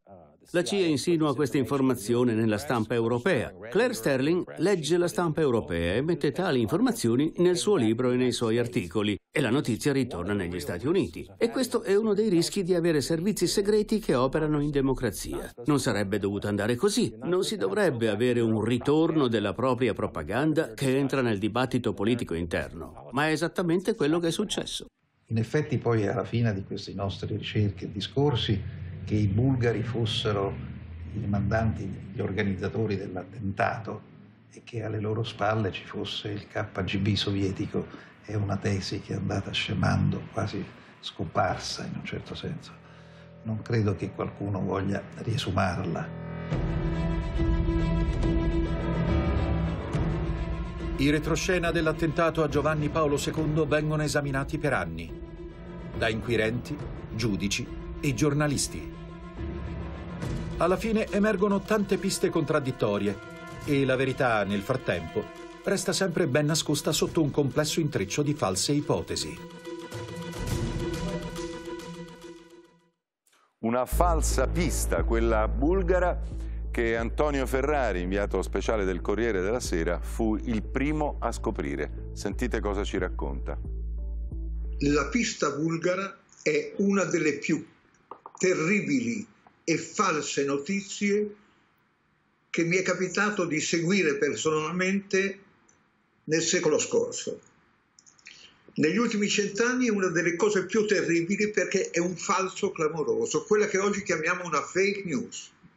Il mondo occidentale, dopo l'attentato al Papa, voleva assolutamente che la Bulgaria comunista fosse colpevole. Era logico, c'era la guerra fredda, quindi il mondo occidentale contro la, la Russia, i paesi satelliti fedeli alla Russia. La crisi era durissima. Dopo l'attentato al Papa ci furono ritiri di ambasciatori, clima, ripeto, mefitico. Dire che i bulgari erano innocenti sembrava un crimine. Non è vero. I bulgari, su questa storia almeno, erano innocenti. La cosa incredibile è che il nunzio apostolico a Sofia, al quale chiedo ma ma sono stati bulgari? Non mi fa, no. Sono stati russi? No. Sono stati gli americani? No.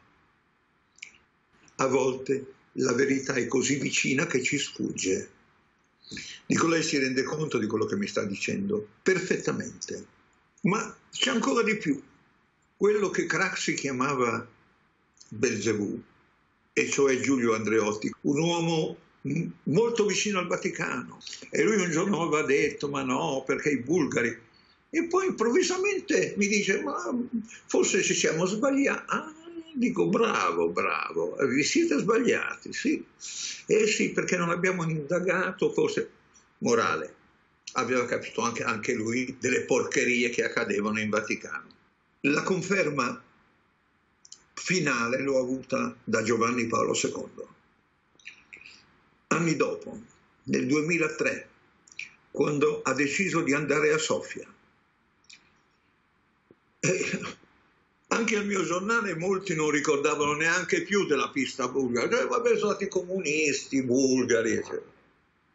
E io chiedo di andare a Sofia e mi, e mi dicono un po' sorpreso, ma che ci vai a fare a Sofia? Ci va il Papa, la pista bulgara. Oddio.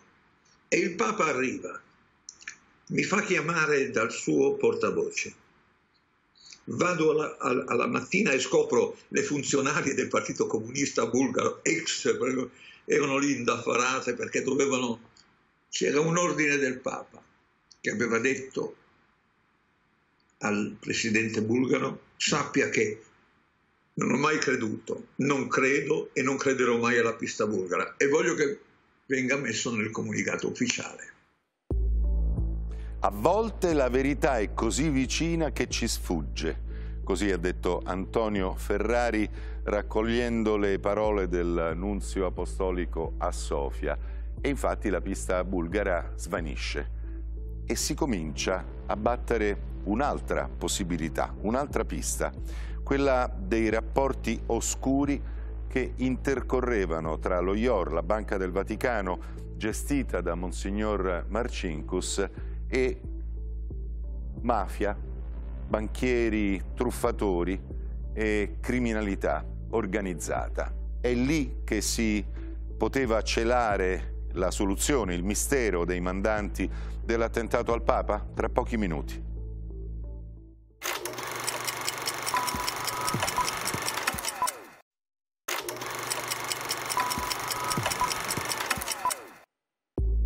Il 1981 è l'anno del crack del Banco Ambrosiano, guidato da Guido Calvi, il banchiere di Dio. È l'anno della scoperta degli elenchi, degli elenchi della P2 di Licio Gelli e dei rapporti oscuri che Paul Marcinkus, il monsignor Paul Marcinkus, che guidava lo IOR, cioè la Banca del Vaticano, intratteneva con la criminalità organizzata e attraverso lo IOR passavano miliardi e miliardi che venivano riciclati ed è lì che vanno a cercare gli investigatori per capire se quella sia una pista possibile per spiegare il senso dell'attentato del 13 maggio in piazza San Pietro.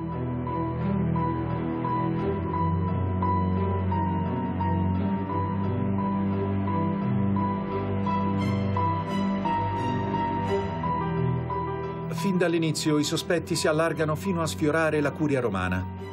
Per gli ecclesiastici conservatori questo dinamico papa è una spina nel fianco. Intrighi e omicidi appartengono da secoli alla prassi delle contrapposizioni all'interno della Chiesa. E se invece dei funzionari comunisti fossero degli alti prelati i veri mandanti dell'attentato?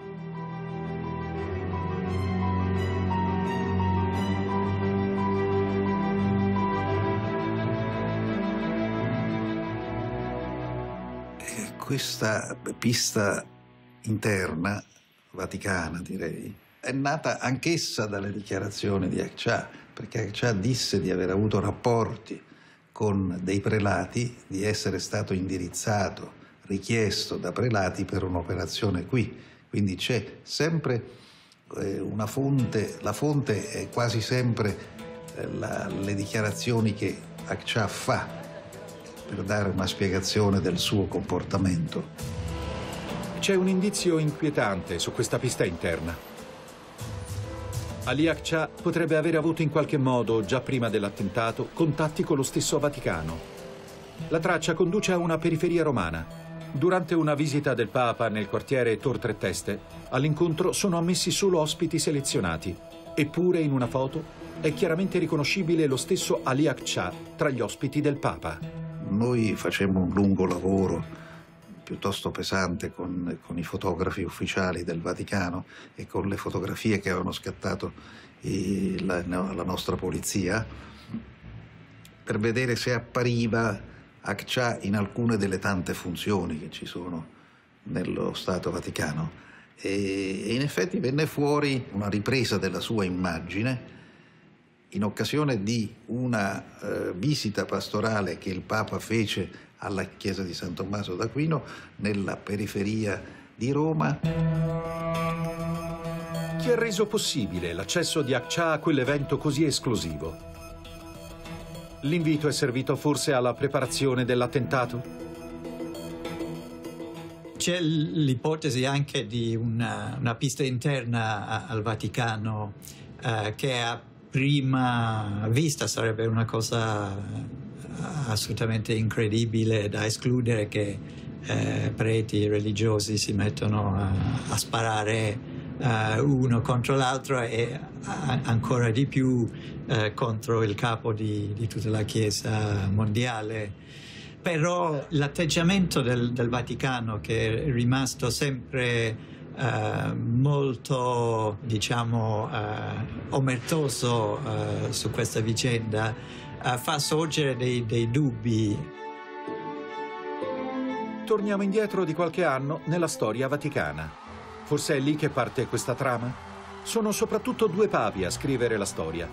Nel 1962, con Giovanni XXIII, si impone sulla scena un papa che vuole condurre la Chiesa nella modernità il Concilio Vaticano II suscita l'entusiasmo dei sostenitori, ma anche una fiera opposizione.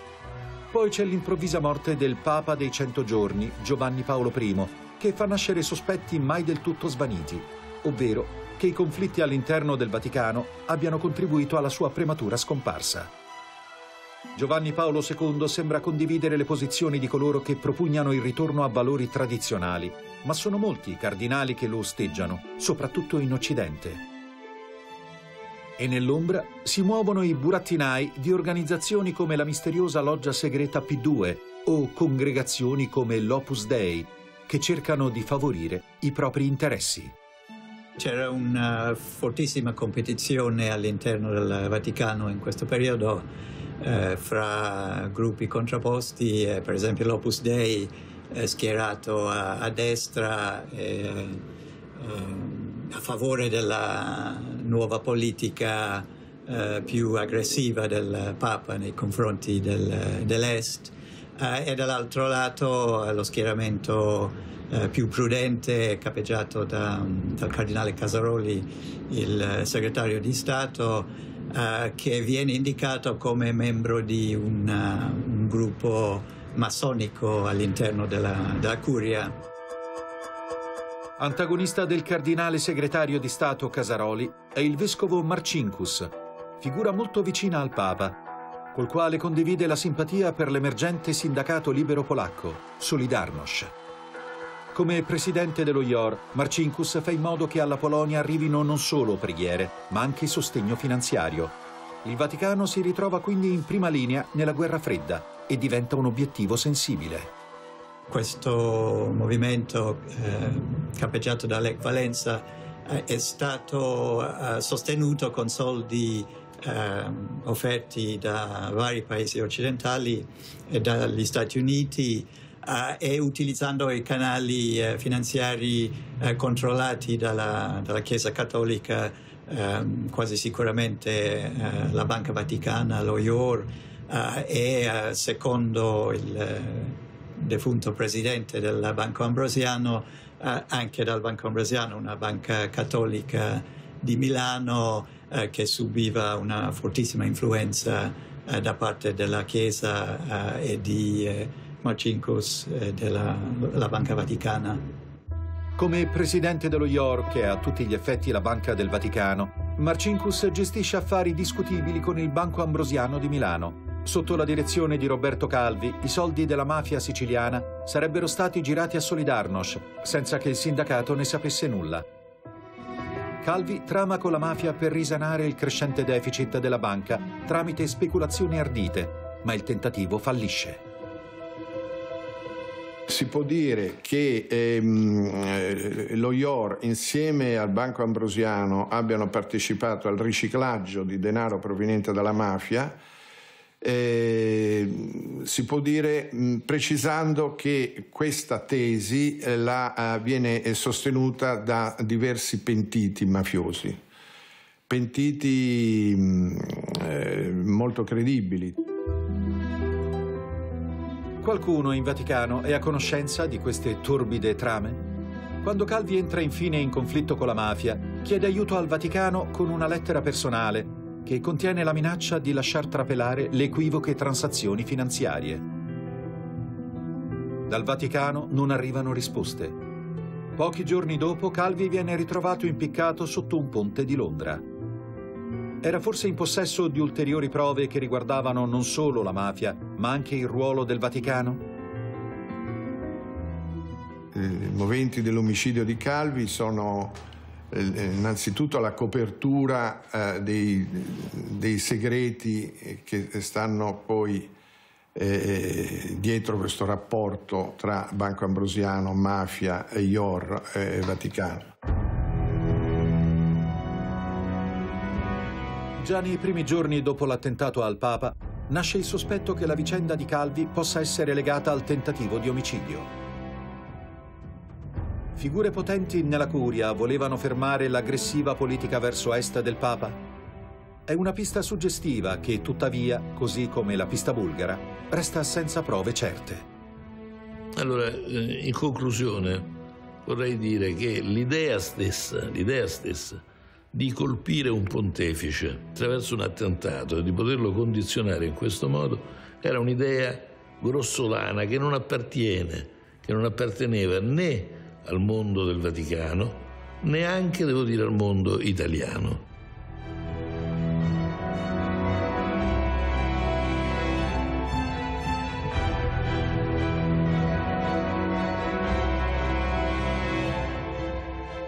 La valutazione finale della pista interna è che essa ha presentato delle difficoltà nel suo procedere, anche perché molte delle domande a cui si doveva rispondere in effetti forse attenevano all'essenza della, della sovranità.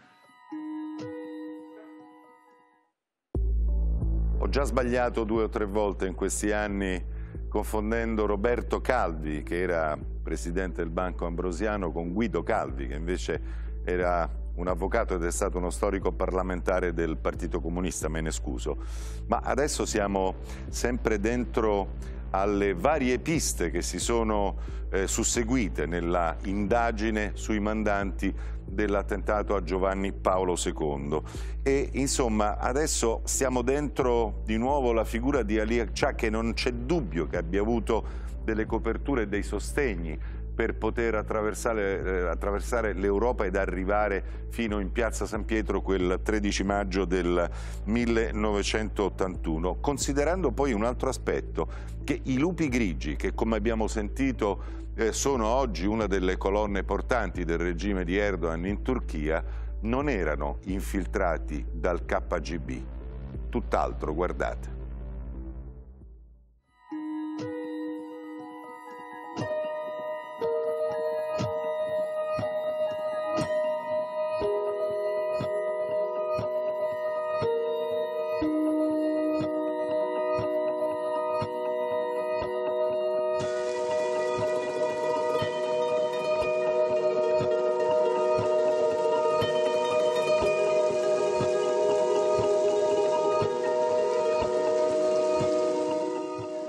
Alla ricerca di complici bulgari o interni al Vaticano, c'è un'altra possibile pista che finora, almeno pubblicamente, è stata poco percorsa.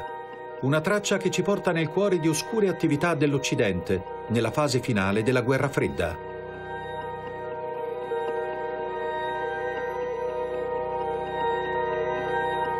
Il punto di partenza è la foto di un complice che quel giorno sembra darsi alla fuga subito dopo gli spari in piazza San Pietro.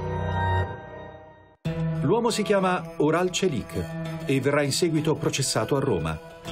Durante il dibattimento emerge chiaramente che Celik, come Akça, appartiene agli estremisti di destra, i lupi grigi. Inoltre mantiene i collegamenti con i servizi segreti occidentali. In tribunale viene difeso dall'avvocato italiano Michele Gentiloni. Durante tutto il periodo della, del processo, Oral Celik ha sempre continuato a riferire che la sua vicenda si doveva inserire in un quadro di servizi di informazione europei e anche turchi. Diceva che la sua vicenda era una vicenda eh, costruita, una vicenda complessa in cui i servizi avevano una importanza fondamentale.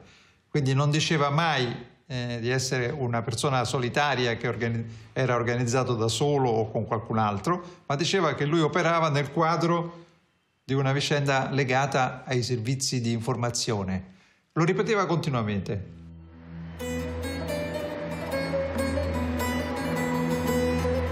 Tramite Oral Celik, la pista ci riporta di nuovo in Turchia. Un paese che a causa della sua collocazione geopolitica durante la guerra fredda gioca un ruolo fondamentale, soprattutto per gli strateghi della NATO. La situazione geopolitica della Turchia è sempre stata estremamente importante e quindi, di conseguenza, il suo ruolo era decisivo per la sicurezza dell'intero Occidente. Questo è un dato storicamente provato e innegabile. E la Turchia, durante la guerra fredda, aveva una posizione strategica nell'est perché era l'unico membro della Nato che confinava direttamente con l'Unione Sovietica. Quindi tutti gli altri paesi della Nato, per poter dormire sonni tranquilli, dovevano poter contare in ogni momento sulla lealtà della Turchia.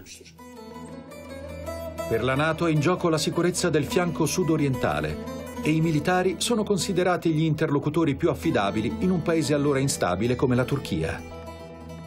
Si cercava di arginare la crescita dei partiti di sinistra e sotto questo aspetto gli anni 78-79 e quelli successivi sono stati molto difficili. In quel periodo è aumentata la violenza perché la violenza era organizzata ai massimi livelli e intendo che si trattava di crimini organizzati ai massimi livelli. Il caos era diffuso nella società e il fine era sconvolgere la vita stessa della società. Il colpo di Stato militare del 1980 provoca numerosi morti e violazioni dei diritti umani. Già allora alcuni osservatori sollevano il sospetto che il golpe avvenga con l'approvazione della Nato e degli Stati Uniti. E nel mezzo di una situazione poco chiara ritroviamo i lupi grigi con Oral Celik e Ali Akçaa. Chi l'ha voluto? Una simile domanda non va neanche posta. Lo stesso giorno del golpe, la CIA e gli Stati Uniti hanno annunciato che la Turchia era stata spinta, attraverso la guerra civile, fino a un colpo di Stato militare e la giunta militare aveva quindi preso il potere. Io posso dire, e questo è un mio parere personale, che i lupi grigi erano nazionalisti per la Turchia, ma anche razzisti. Se si fosse manifestata una minaccia comunista nel paese, dovevano costituire un fronte di resistenza per opporsi. I lupi grigi hanno rapporti con i servizi segreti occidentali. Forniscono quindi degli specialisti per missioni particolarmente delicate? Ali Akça e gli altri appartenenti ai lupi grigi avevano rapporti con i servizi europei. Sicuramente hanno fatto dei servizi ai servizi, hanno fatto dei servizi che le autorità ufficiali di uno Stato europeo non possono permettersi. Nel 1979 Ali Akça spara e uccide il giornalista turco Abdi Ipekci. L'omicidio sembra organizzato dai lupi grigi, ma nessuno vuole assumersi la responsabilità di tale azione. È stato ucciso un giornalista di sinistra, Abdi Ipekci, e la propaganda ha concluso che l'esecutore fosse uno dei nostri, un tizio di nome Ali Agcha, che fino ad allora era un perfetto sconosciuto per noi, quindi era tutto assurdo. Non apparteneva all'organizzazione e non era al servizio di nessuno. L'omicidio di Pekci suscita l'attenzione di ambienti collegati ai suoi avversari.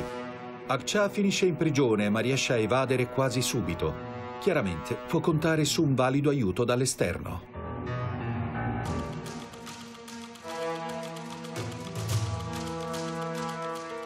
A quel tempo mi ero già dimesso da ministro. Un giornalista venne da me e mi disse Agcia è evaso e io no, lo hanno fatto uscire. Un detenuto non fugge così facilmente dalle nostre prigioni. Ha bisogno di aiuto dall'interno o dall'esterno. Vuol dire che qualcuno dentro o fuori dal carcere o tra il personale carcerario deve averlo favorito nella fuga.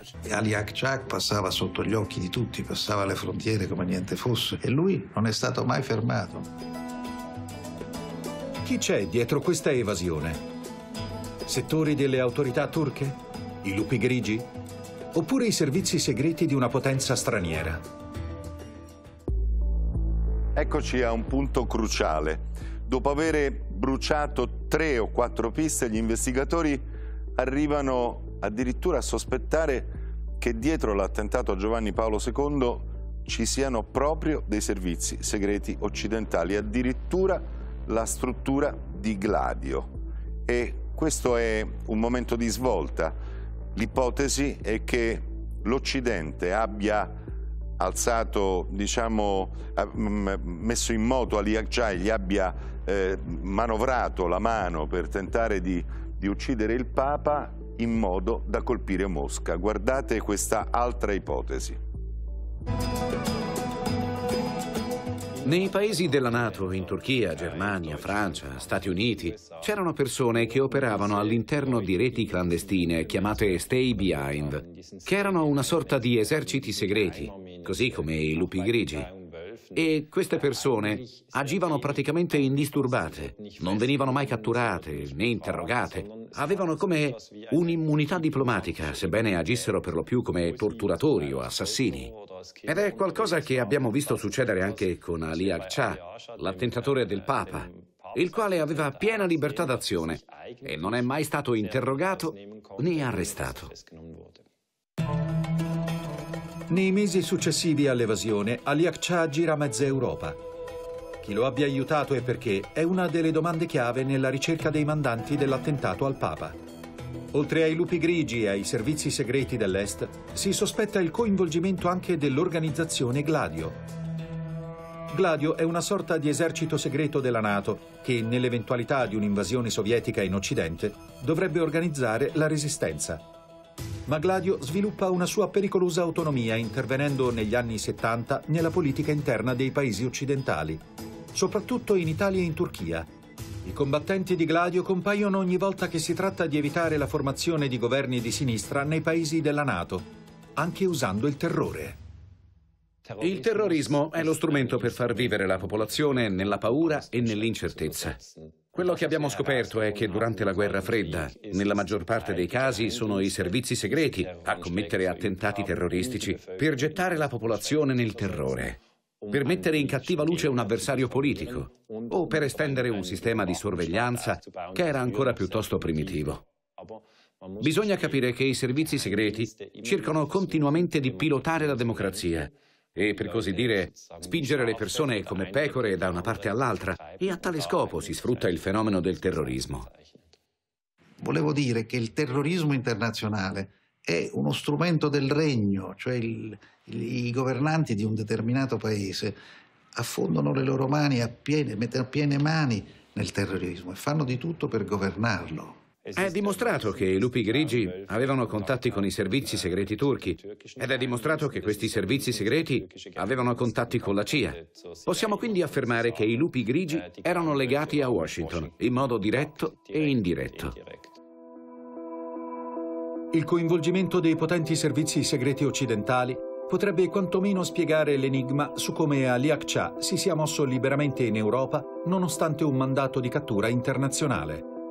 Ma se i servizi segreti abbiano effettivamente impartito l'ordine dell'attentato o se abbiano solo lasciato Akçaa libero di agire, è ancora oggi un argomento dibattuto. Il sistema che si nascondeva dietro Mehmet Ali Akçaa era stato inizialmente accostato ad un gruppo di idealisti, o meglio, di estremisti di destra, ma poi si è scoperto che tale organizzazione era, in poche parole, il corrispettivo o la versione turca della cosiddetta organizzazione Gladio, una rete clandestina che era nata in Italia ed era stata poi imitata in Turchia da gruppi estremisti. In seguito si è scoperto che questo stesso gruppo era attivo anche in Europa. Si trattava di giovani uomini che venivano usati da Gladio come sicari e molti provenivano da un'organizzazione giovanile della destra turca, l'Ulkj. Ma allo stesso modo bisogna dire che anche nelle stesse file della sinistra all'epoca c'erano molti uomini pronti a compiere azioni analoghe. Se analizziamo il quadro da un punto di vista storico, dobbiamo valutare il coinvolgimento di certi ambienti. Quindi la Nato, la CIA o i servizi segreti turchi potrebbero effettivamente aver armato questi individui. Dopo l'attentato, Giovanni Paolo II diventa una delle figure più autorevoli del nostro tempo. Gioca un ruolo decisivo nella caduta del comunismo e nella battaglia contro il male rappresentato dal materialismo globale. Se l'attentato doveva interrompere il cammino del Papa nel mondo, allora Ali Akçaa e i suoi presunti mandanti hanno fallito. L'unica cosa perfettamente riuscita è stata nascondere fino ad oggi i loro moventi. Gli spari del 13 maggio 1981 restano uno dei più grandi enigmi irrisolti del XX secolo. Nel mondo dell'intelligence quasi mai le cose sono come sembrano e la verità è sempre diversa o quantomeno più completa di quanto non venga raccontato. La cattiva informazione è informazione falsa e la disinformazione è un'informazione concepita come falsa notizia che deve diffondersi e influenzare l'opinione pubblica.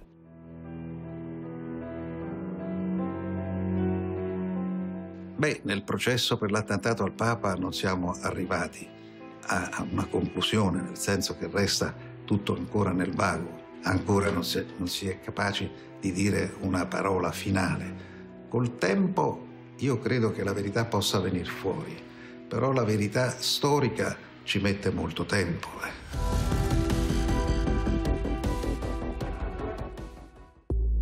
Col tempo una verità potrebbe venire fuori, l'auspicio del giudice Rosario Priore che ha indagato per moltissimi anni sull'attentato a Giovanni Paolo II.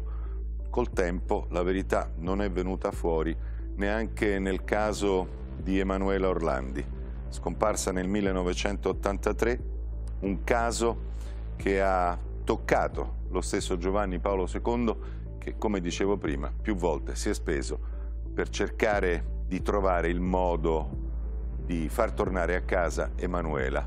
Ma questo non è mai accaduto e ne parliamo tra poco qui in studio con Pietro Orlandi, il fratello di Emanuela, e l'avvocatessa Laura Sgro che difende la famiglia. Tra pochi minuti di pubblicità.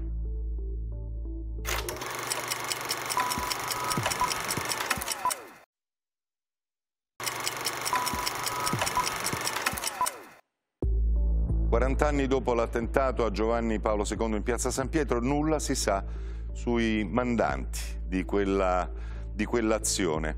E come una cortina, c'è cioè come una cortina impenetrabile che nasconde questo segreto contro la quale hanno sbattuto tutti gli investigatori nell'arco di questi decenni.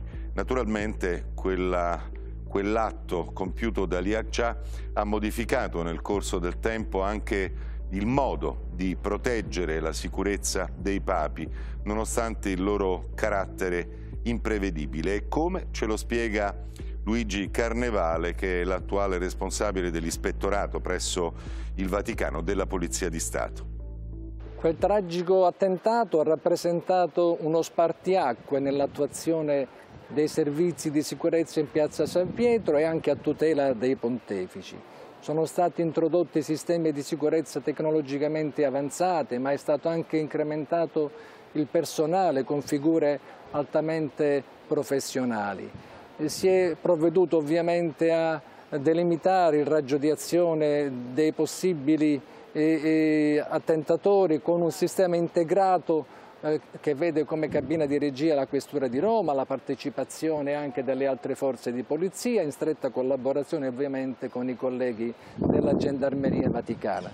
Ma non dobbiamo dimenticare che questo è un luogo sacro, il luogo frequentato da fedeli, da persone che vengono a pregare e quindi c'è bisogno di coniugare queste esigenze di sicurezza con l'esigenza dell'accoglienza. Per cui il nostro personale è chiamato a operare col massimo rigore, ma con il sorriso sempre sulle labbra.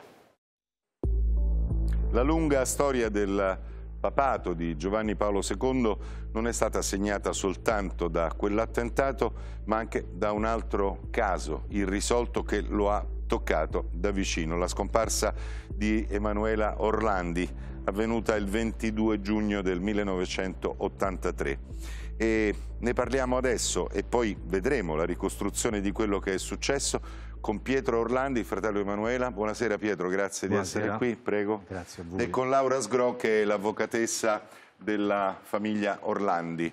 Buonasera avvocatessa Sgro. Buonasera. Pietro, eh, sono passati 38 anni, noi siamo sempre qui diciamo, a sostenere la vostra richiesta di verità e anche di giustizia. Ma come, come, ti senti dopo 38 anni senza, diciamo, qualcosa di concreto a cui aggrapparti?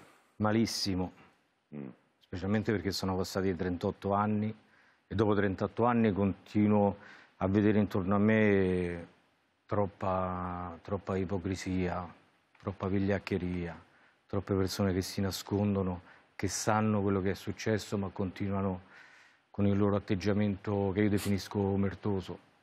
Tu hai detto, io finché non ho, come dire, non, non vedo eh, anche i resti di Emanuela, per me continua a essere viva. No, per me è un dovere continuare a cercarla viva finché non, non ne ho la prova concreta, finché non trovo i resti, se ci sono.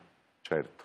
Avvocatessa Sgro, eh, alcuni mesi fa eh, c'era stato diciamo, un evento che tutti speravano che potesse portare a una svolta nella storia di, della scomparsa di Emanuela, cioè l'apertura di un paio di tombe nel cimitero teotonico all'interno della città del Vaticano. Come sono andate le cose?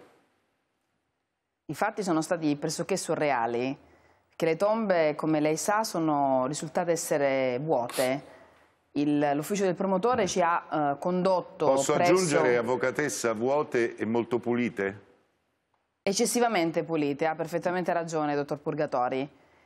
L'ufficio del promotore, dopo l'apertura delle tombe, ci ha eh, portato, in un momento in cui noi non eravamo presenti, presso oh, un ulteriore luogo che era all'interno del collegio teutonico, dove c'era un ossario e sono stati fatti dei rinvenimenti sul, sull'ossario del teutonico.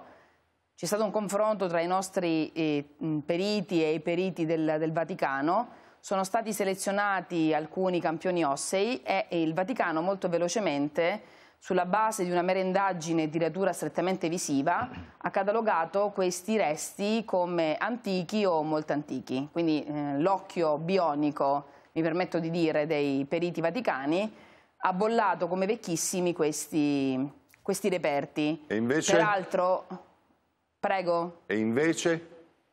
Peraltro no, voglio aggiungere che eh, ulteriori approfondimenti sono stati delegati alla famiglia Orlandi a carico anche economico della famiglia Orlandi.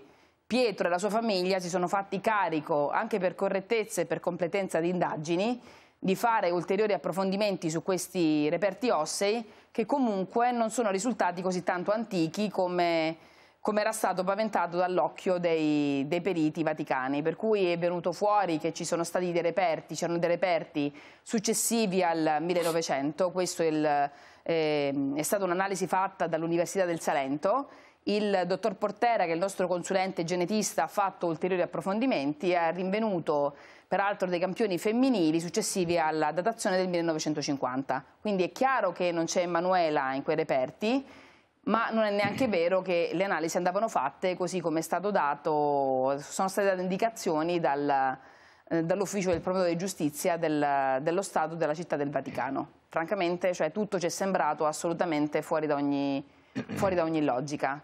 Peraltro vorrei anche aggiungere che noi avevamo chiesto l'apertura eh, di due tombe per l'appunto risultate pulitissime e non di andare ad analizzare un, un ossario intero peraltro a carico della famiglia Orlandi. Sì, Pietro, eh, quel giorno tu eri emozionatissimo. Ci siamo parlati nel pomeriggio, sì. mi ricordo che eri molto, diciamo... Beh, avevo paura di trovare Emanuela là eh, lo dentro. so, questo lo capisco perfettamente. Eh, però eh, nello stesso tempo, diciamo, quella, quella così, concessione che era stata fatta dal Vaticano sembrava l'inizio di una apertura, di una, di una svolta no? anche nei rapporti diciamo, tra voi che chiedevate e loro che fino a quel momento si erano sempre trincerati dietro un silenzio, un non rispondere. No, è stata una grande sceneggiata secondo me. Prima perché loro sapevano perfettamente che quelle tombe erano vuote, non potevano non saperlo. E la cosa importante, più che le due tombe, è la stanza che è stata trovata sotto quelle due tombe. Cioè? Noi abbiamo, eh, una delle tombe è stata aperta, c'erano solo materiali dell'Ottocento, terriccio, non c'era niente, hanno scavato gli operai, hanno fatto un buco, hanno visto che sotto c'era una stanza, sono entrati, era una stanza in cemento armato, 3 metri per 3 metri, alta lo stesso 2-3 metri, mm. in cemento armato, quindi materiali molto più recenti. E, e, il dubbio era com come si entrava perché non c'erano porte, non c'erano finestre. Invece di fronte alla famosa tomba dell'angelo, sì. per terra c'era una lastra di marmo con quattro pioli, bastava sollevare i quattro pioli e si accede a quella stanza di sotto. Scusa, a proposito della tomba dell'angelo che era l'indicazione, sì. cioè questa indicazione vi era arrivata non in forma anonima, vi era no. arrivata diciamo eh, da qualcuno che si era... Qualcuno, persona all'interno del Vaticano. All'interno del Vaticano che si era comunque con voi palesato, si era... Per questo io volevo che si aprisse un'inchiesta interna prima di arrivare ad aprire. Perché mm. avrei voluto verbalizzare, avrei detto chi erano queste persone, avrei voluto che ascoltassero queste persone e perché ci volevano portare su quella tomba. Invece il Vaticano ha voluto fare questa, eh, questa uscita mediatica enorme, apriamo due tombe per dimostrare che facevano qualcosa, tanto probabilmente sapevano che all'interno di quelle tombe non c'era niente. L'attenzione mediatica mondiale, devo dire mondiale, in quel momento era soprattutto su quella stanza vuota. Sì. Loro hanno spostato in un attimo l'attenzione su due ossari, quindi l'attenzione si è spostata su quei due ossari, hanno tirato fuori 20 sacchi di ossa e analizzati in un giorno e mezzo e poi con il bollettino della, Santa, della sala stampa hanno detto che erano ossa vecchie, quindi per loro è finita lì Invece quella stanza là sotto è importante. All'avvocato, quando ha richiesto eh, le carte dei lavori fatti, non gli hanno voluto dare niente. Io adesso chiedo proprio all'avvocatessa Sgro, ma quando vi sono arrivate queste indicazioni non anonime che parlavano della tomba dell'angelo, cioè l'angelo è una statua, sì. diciamo, che sta eh, esatto. sopra, sopra, queste tombe, eh, vi siete fatti una domanda sul perché qualcuno, in modo palese, a voi naturalmente, eh, aveva dato questa, questo suggerimento, questa indicazione, cioè come mai diciamo, c'era una persona e, e, come mai questa persona avrebbe potuto sapere qualcosa su quella tomba e sulla possibilità che dentro ci fossero i resti di Emanuela? Guardi, le persone sono più d'una. Uh, io ovviamente sono tenuta al segreto. Sì, ma non perché... le sto chiedendo nome e cognome. Infatti. No, no, no, ma infatti volevo, volevo dirle che appunto per questo, visto che queste persone hanno parlato con me, hanno anche parlato con Pietro, ehm, eravamo di concerto con l'ex comandante della Gendarmeria Vaticana di sentire Pietro, perché Pietro non è tenuto ai vincoli cui sono tenuta io. E quindi dopo una serie di interlocuzioni con l'ufficio della Gendarmeria, all'improvviso l'interlocuzione è cessata quindi non hanno più voluto sentire Pietro che aveva tanto da raccontare e hanno deciso di, eh, di aprire comunque le tombe. Quello che penso io è che evidentemente l'indicazione su quelle tombe è che è un ulteriore richiamo alle responsabilità comunque del Vaticano nella sparizione di Emanuela e anche di un'eventuale morte di Emanuela. Cioè io non me lo spiego in nessun'altra maniera. Certo, questo, questo altro che avresti voluto raccontare lo puoi raccontare anche qui? No, io avrei fatto i nomi di queste di queste persone, avrei voluto fare un'indagine su queste persone e capire perché.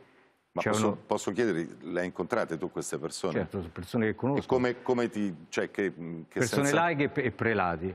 Ah. Prelati, monsignori, quindi... Eh, Ed erano tutte coincidenti su quella tomba? Che, sì, che dicevano, che indicavano quella tomba. C'era anche una persona, anche se poi i giornali ne hanno portato in maniera diversa, che portava addirittura i fiori su quella tomba perché gli era stato detto che lì ci potevano essere i resti di Emanuela. Però quella, cioè, ci sono tante di quelle cose, quando io dico che in questo periodo, dopo tanti anni, uno è demoralizzato, perché da quando si è chiusa l'inchiesta nel 2015, è ovvio che le indagini le facciamo per conto nostro, quindi cerchiamo di contattare le persone e nonostante tiriamo fuori indizi importanti, io vedo che c'è l'assoluta mancanza di volontà a fare qualcosa, perché quando io ne ho parlato, te lo dico perché ne ho parlato anche pubblicamente, anche quando ho fatto la manifestazione, quando ci sono due persone molto vicine a Papa Francesco che usano dei telefoni riservati della Santa Sede e io ho uno scambio di messaggi su WhatsApp tra queste due persone di qualche anno fa che parlano dei documenti... No, tra no, tra, tra, di loro, tra loro. Che parlano eh, di documenti di Emanuela. Bisogna fare quei documenti, non bisogna dirlo a Gianni perché è una cosa grave. Gianni è l'ex comandante, comandante dei gendarmi. Ci sono vuol dire che eh, quando noi chiedevamo i documenti e loro ci dicevano non c'è nulla, non è vero. E quando l'avvocato manda un'istanza al segretario di Stato, al Tribunale, dire guardate che noi abbiamo in mano questi, questi, questo scambio di messaggi, uno che ti, che ti, aspetti, che il segretario di Stato, il Tribunale ti chiama e ti, e ti dice eh, verbalizziamo chi sono queste persone perché dicono queste cose. Invece assolutamente niente, c'è il silenzio più totale. E quella è la cosa che ti, ti fa dispiacere veramente. Posso chiedere, avvocatessa, adesso che cosa avete intenzione di fare? Noi intanto insisteremo sul, perché vengano sentite queste persone o quantomeno vengano analizzati questi, questi, scambi che ci sono stati recapitati. Noi ovviamente non abbiamo il potere che ha la magistratura di sequestrare telefoni, quindi per verificare l'attendibilità o meno di questi scambi. Noi non insistiamo, non abbiamo nessuna intenzione di demordere rispetto a questa vicenda, vogliamo vederci chiaro, soprattutto perché si tratta di scambi che eh, danno per scontato l'esistenza di conoscenze e di informazioni all'interno della Santa Sede e quindi anche, e anche di persone insomma, che hanno anche ruoli apicali nell'ambito del, del, Vaticano. Quindi cioè, non si può uh, fare silenzio rispetto a queste cose. Noi non abbiamo il potere di fare una certa tipologia di indagine, loro sì ce l'hanno e quindi non capisco perché non la vogliono fare. Pietro, io ti devo fare un'ultima un domanda, e cioè che è quella poi che ti faccio ogni volta.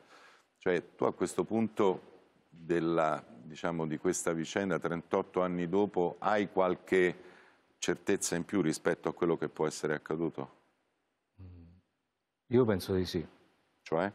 eh, cioè, sono legate alle cose che ti ho detto anche adesso, perché sono, eh, più, sono diverse cose.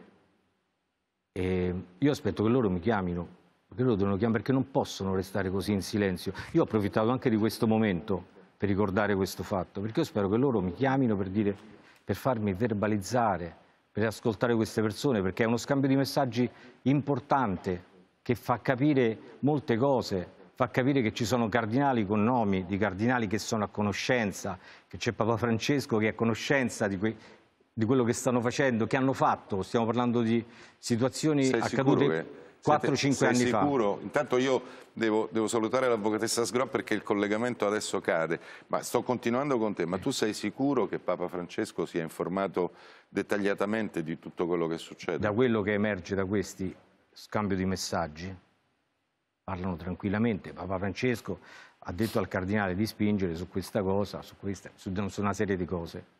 Quindi loro ne sono a conoscenza. La cosa che mi stupisce è che, eh, nonostante io lo abbia detto pubblicamente, anche in questa occasione, che loro non hanno la volontà, perché voglio dire, un segretario di Stato o un, eh, un promotore di giustizia in Vaticano, ascoltando queste cose, che dovrebbe fare? Convocarmi e dire perché dici queste cose? che documenti hai in mano, che scambio di messaggi hai in mano. E tu saresti pronto a dare eh certo, tutto quello che c'hai. Io per questo non dico quello, proprio quello che c'era scritto là sopra, sono cose importanti e loro devono convocarmi. Ma questo succede dalla parte della, della Santa Sede, ma anche dalla parte italiana, perché eh, quando ti dicevo prima, trovi degli indizi, quante volte si è parlato eh, della questione Sant'Apollinare, della questione dei soldi, dei pedis, no? Sant'Apollinare è, io devo ricapitolare, sì. Sant'Apollinare è sia il luogo da cui è scomparsa Manuela, vicino sì, Piazza Navona, dietro Piazza Navona, scuola. che il luogo dove poi si, trovati, si è trovata la tomba di Renato De Pedis, che eh, apparentemente in qualche modo in questa storia c'entra. Sì.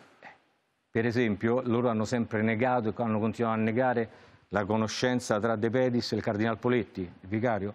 Io ho visto io una foto di De Pedis col Cardinal Poletti che brindavano, De Pedis che versa champagne nella coppa del Cardinal Poletti in un appartamento a Piazza Navona. E ricordiamo che De Pedis era, diciamo, l'ultimo grande capo della sì, banda della Sicuramente Magliana. quando è stata scattata quella foto non era uno sconosciuto De Pedis. Il fatto che ho incontrato delle persone che c'erano all'epoca, che poi sono andate via, si sono completamente allontanate dall'Italia, che mi hanno confermato, perché sono persone attendibili, che De Pedis frequentava la scuola di, di musica di Emanuela prima della scomparsa perché era un amico di Suor Dolores e spesso stava lì a scuola. Beh, certamente non è finito per caso lì dentro diciamo, spesso la tomba. è stato visto uscire dall'ufficio di Scalfaro, che due mesi dopo è diventato eh, ministro degli interni, perché Scalfaro era amico di Suor Dolores Stiamo entrando, stiamo entrando, in una zona, no, dove nel senso che io, io prendo, certo, no, come dire, la responsabilità di quello che dico. Certo. Scalfaro che era amico intimo, quando io parlo del sistema eh, Stato, Chiesa e criminalità all'interno di quella basilica, mm. c'era Scalfaro amico intimo di Poletti, entrambi erano amici di Vergari che è stato indagato per concorso in Vergari sequestro. era il, il, il responsabile, rettore, della, il rettore del, della, della, di Santa Pollinare. Di Santa Pollinare e tutti e due erano amici di De Pedis. Questo io... Cioè... Queste sono, sono, situazioni che io mi aspetto, io siccome l'ho detto più di una volta pubblicamente, mi aspetto anche da parte della Procura che mi chiamano perché dici queste cose. Però la Procura archiviò, all'epoca procura... il procuratore capo era, era, Pignatone e, e, cosa è successo a Pignatone? È stato nominato eh, responsabile presidente, presidente del, del, Tribunale, Tribunale Vaticano. Vaticano. Sì. Mm, va bene, queste sono sono, diciamo... No, per diciamo questo vi dice sempre un po' di rabbia da parte mia, certo. perché sono passati tantissimi anni e ti rendi conto che se fai tanti sforzi poi alla fine non vieni aiutato da chi dovrebbe aiutarti veramente. Perché io ricordo Emanuele è sempre una cittadina vaticana, è ancora iscritta all'anagrafe vaticana perché io non ho mai fatto, come con gli altri familiari, non abbiamo mai fatto la dichiarazione di morte presunta. Quindi Emanuele Orlandi è una cittadina vaticana viva iscritta all'anagrafe vaticana. L'unica cittadina vaticana sia stata mai rapita è assurdo che lo Stato Vaticano non abbia mai voluto aprire un'inchiesta per capire cosa è successo.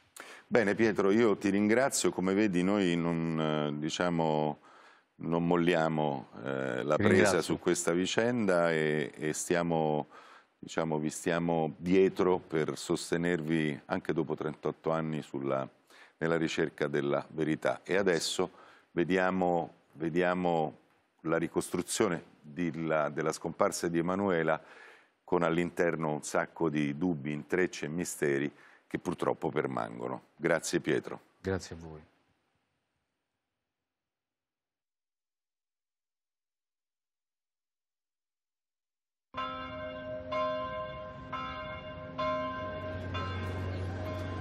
Roma, piazza del Campidoglio. La fotografia di una ragazza di 15 anni viene esposta sulla facciata. Emanuela Orlandi è scomparsa da quasi 30 anni. Centinaia di manifestanti vogliono sapere la verità. Il caso Orlandi è un giallo che tormenta l'Italia dal 1983. Mafia, servizi segreti e terrorismo internazionale più che un fatto di cronaca, è quasi un affare di Stato. Non conosco il movente, non conosco i responsabili eh, del sequestro di Emanuela, ma conosco il sistema che per tanti anni ha, ha occultato la verità sulla storia di Emanuela. Secondo i manifestanti, la chiave del mistero si nasconderebbe in Vaticano. Per questo si radunano in piazza San Pietro, per ottenere l'attenzione del Papa. Ma dal balcone il Papa non dirà una sola parola sul caso Orlando.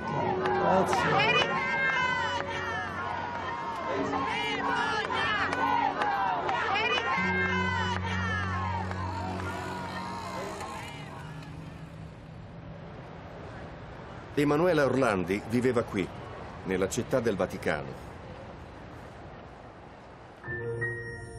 Nel suo appartamento di via Sant'Egidio, la sua stanza è rimasta quella del giorno della scomparsa. Emanuela adorava la musica, voleva farne il suo mestiere e diventare famosa. Sua madre, Maria, abita ancora qui. Manuela era una bambina felice, allegra, spensierata. Lei era brava, gli piaceva la musica. Voleva bene, un mondo di bene a tutti. Si faceva voler bene Emanuela. Era affettuosa, aveva tante amichette. Emanuela è la terza di cinque figli. Suo padre, Ercole, che lavora alla prefettura vaticana, si occupa degli inviti alle udienze papali. Gli Orlandi sono una delle quattro famiglie laiche che abitano presso la Santa Sede e sono cittadini del Vaticano. Pietro, il fratello maggiore di Emanuela, ricorda quell'infanzia molto particolare. I giardini vaticani erano come i giardini di casa. Per noi bambini era una cosa, era un parco giochi. Abbiamo vissuto, dire, un'infanzia molto, molto serena. Era una famiglia modesta comunque perché anche se stavamo in Vaticano vivevamo dello stipendio di mio padre. Il Vaticano è un piccolo paese, ci si conosce tutti, anche il rapporto con queste persone, il Papa, per noi bambini era, era quasi un... per me era un signore anziano vestito di bianco quando ero piccolo. Per gli Orlandi tutto cambia il 22 giugno 1983. Quel giorno Emanuela va a scuola. Poi nel pomeriggio andrà al conservatorio per le sue lezioni di flauto. All'epoca Emanuela ha 15 anni e mi ha chiesto un'altra volta se l'accompagnavo. Io quel giorno avevo un appuntamento e ho detto non posso. Lei insisteva, io non posso e c'è stata, non mi ricordo, una discussione. Si è girata, è uscita, ha sbattuto la porta e se n'è andata. E io in quel momento, devo dire la verità, non avevo mai pensato che, di, di non rivederla ad oggi per 29 anni. Questa è la ricostruzione delle ore che precedono la sua scomparsa. Sono le 15.30. Emanuela esce di casa. Oltrepassa i cancelli della città del Vaticano. Ora cammina per Roma. In pochi minuti raggiunge la fermata dell'autobus. Quattro fermate dopo arriva a destinazione, il conservatorio.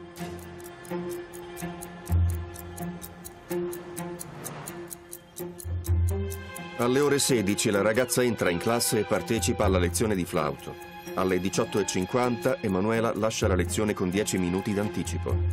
Qui avviene un fatto che attirerà l'attenzione degli inquirenti. Telefona ai suoi genitori da una cabina, ma non li trova in casa. Alla sorella racconta di aver conosciuto un uomo andando al conservatorio. Le ha proposto di distribuire volantini che riguardano dei prodotti di bellezza. Un lavoro ben pagato, dice. Sua sorella le consiglia di tornare subito a casa. Ore 19.30. Emanuela accompagna un'amica del conservatorio alla fermata dell'autobus. Si separano. Da quel momento nessuno ha più rivisto Emanuela Orlando.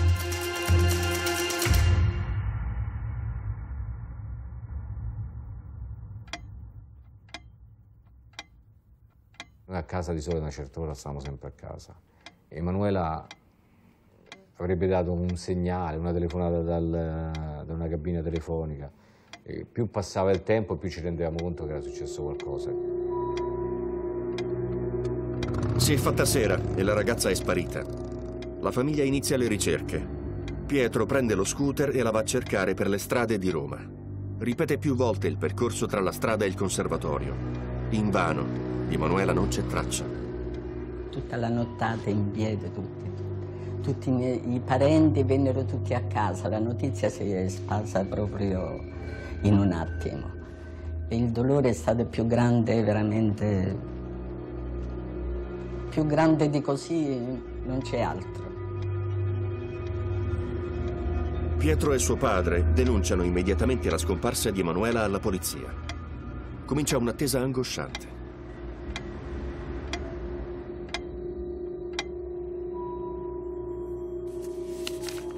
Il 25 giugno, tre giorni dopo la scomparsa, finalmente la famiglia riceve una chiamata. Uno sconosciuto, di nome Pierluigi, afferma di aver visto Emanuela vendere gioielli in un mercato. Ci raccontava dei particolari di questa ragazza che corrispondevano a Emanuela. Quello faceva, il fatto che usava gli occhiali, che la sorella si doveva sposare, tutta una serie di particolari evidenti che ci devono per forza far ricondurre a lei.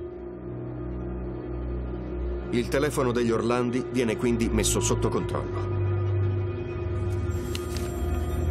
Tre giorni dopo arriva un'altra chiamata.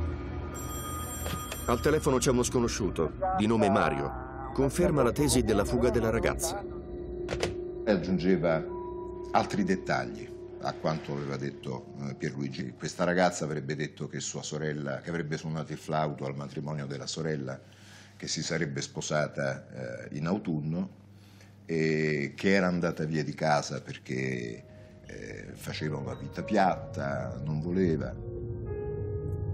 La sera del 30 giugno Pietro e i suoi amici tappezzano Roma con 3.000 manifesti raffiguranti il volto di Emanuela. Per gli investigatori le piste percorribili sono due, la fuga o il rapimento. Undici giorni dopo la scomparsa, Giovanni Paolo II in persona parla del caso. Domenica 3 luglio, al momento dell'Angelus, il tradizionale discorso della domenica mattina, a sorpresa il Papa parla del caso Orlandi. Desidero esprimere la viva partecipazione con cui sono vicino alla famiglia Orlandi, la quale è nell'afflizione per la figlia Emanuela di 15 anni, che da mercoledì 22 giugno non ha fatto ritorno a casa. Condivido le ansie e l'angosciosa trepidazione dei genitori, non perdendo la speranza nel senso di umanità di chi abbia responsabilità di questo caso.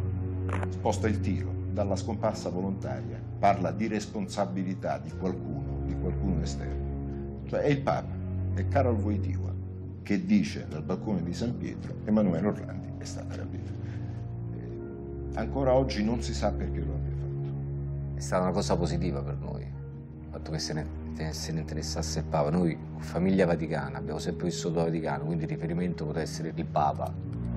A dimostrazione che questa scomparsa non è considerata come un normale fatto di cronaca, due agenti dei servizi segreti italiani si presentano a casa Orlandi.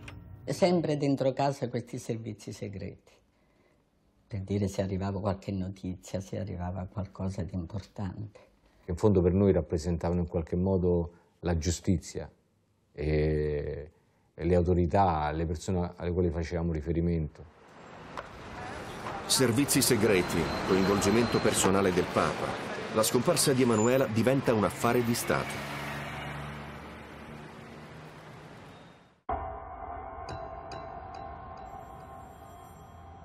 Il 5 luglio, due giorni dopo l'Angelus del Papa, a casa Orlandi arriva un'altra telefonata. Stavolta è un uomo con un forte accento anglosassone. Quest'uomo verrà soprannominato l'americano dai magistrati che si occupano del caso. Questa è la registrazione della prima chiamata dell'americano alla famiglia Orlandi. L'uomo afferma di aver già contattato il Vaticano per avanzare la sua richiesta. Ascolti, sì? funzionari funzionari del Vaticano sì? non mancheranno di mettersi in contatto eh, con lei. Sì, ma la bambina sta bene, mi dica almeno, no? Non preoccupi, io non potrei ora avanzare, il, non avere autorizzazione al, al, a parlare. La bambina è il... Un momento. Ok. L'americano in sostanza eh, sostiene di essere in possesso di Emanuela, fa riferimento a Pierluigi e Mario, quindi ai due ragazzi, alle due persone che hanno telefonato in casa Orlandi. Sono stato contento, mi ricordo anche quando ha telefonato l'americano. Uscivamo un po' da quel, da quel vuoto, ma c'era una richiesta effettiva, quindi Emanuela era stata rapita, quindi c'era la possibilità ancora che, che potesse tornare a casa. E chiede uno scambio, chiede la liberazione di Ali Akça in cambio della liberazione di Emanuele Orlandi.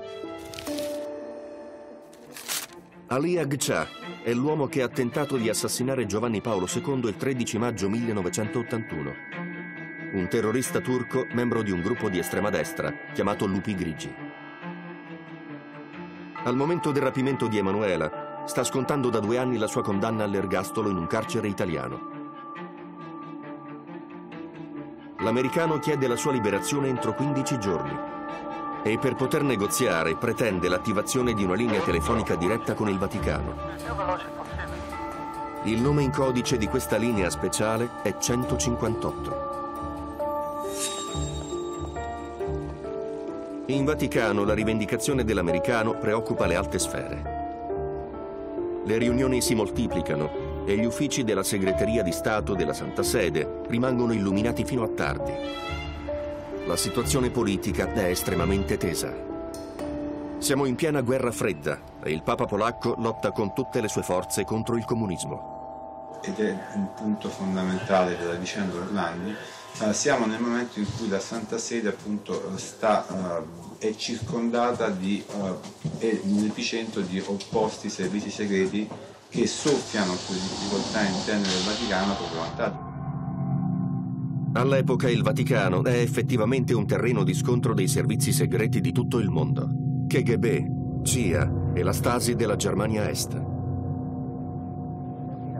L'americano telefona alla famiglia Orlandi una quindicina di volte e in ognuna fornisce elementi che dovrebbero dimostrare che Emanuela è viva.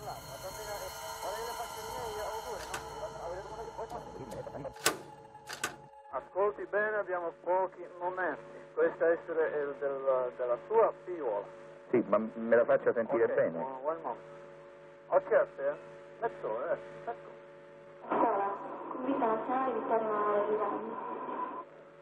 Sora, convita nazionale Vittorio Emanuele Rivanni. Dovrei fare il terzo liceo a Sassanamma, scientifico. La voce è quella di Emanuela e il convitto nazionale è la sua scuola ma resta impossibile datare la registrazione. A ogni contatto l'americano concede altri indizi.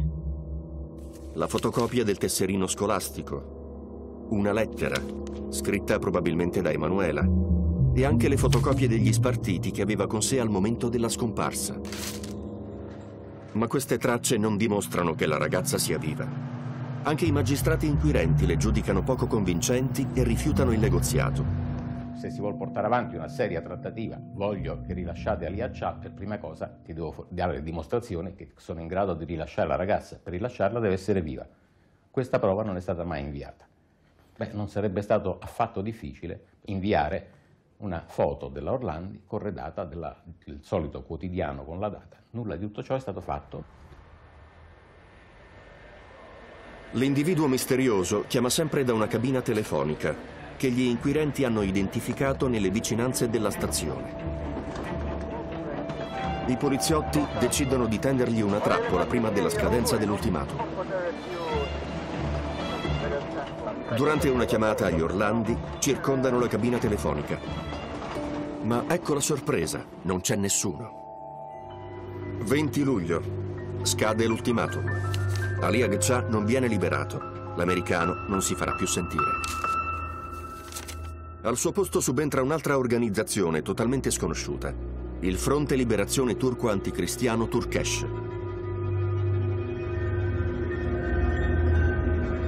Anche il Turkesh reclama la liberazione di Agca e manda comunicati all'avvocato della famiglia e ai media. Sa che all'età di 13 anni e mezzo Emanuela ha avuto una crisi nervosa e che ha sei nei sulla schiena. Questo complica ulteriormente le cose agli investigatori.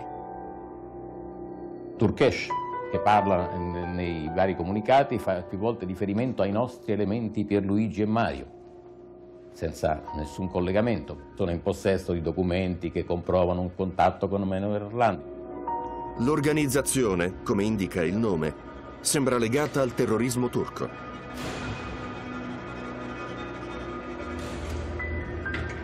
Gli inquirenti decidono quindi di interrogare Ali Agca.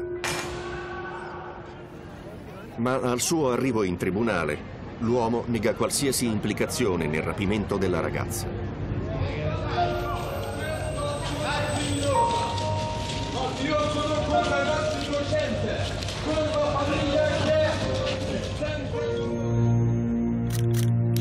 Condivide il dolore della famiglia Orlandi. Per ben otto volte parla di Emanuela nel suo discorso domenicale. Emanuela di 15 anni. La vigilia di Natale, sei mesi dopo la scomparsa della ragazza, Giovanni Paolo II fa visita agli Orlandi. Portò, mi ricordo, portò un cesto grandissimo per le feste di Natale. Di avere coraggio, coraggio, vedrà che qualcosa verrà fuori. Si è commosso, sì. Io ho delle fotografie che piango io e piange pure lui perché mi abbraccia forte. Poi dopo dice questo è, è un intrigo internazionale. E disse che questa frase stava a fianco a mio padre. E esiste il terrorismo nazionale e il terrorismo internazionale. Poi ha fatto come, come per allargare il braccio. Quello di Emanuele è un caso di, di terrorismo internazionale. Stiamo facendo qualcosa, cioè ha dato quella sensazione, però la sensazione forte che ho avuto è che lui eh, sapesse di più di quello che ci sta dicendo in quel momento. Due giorni dopo la visita agli Orlandi, Giovanni Paolo II si reca in prigione per incontrare Ali Agca.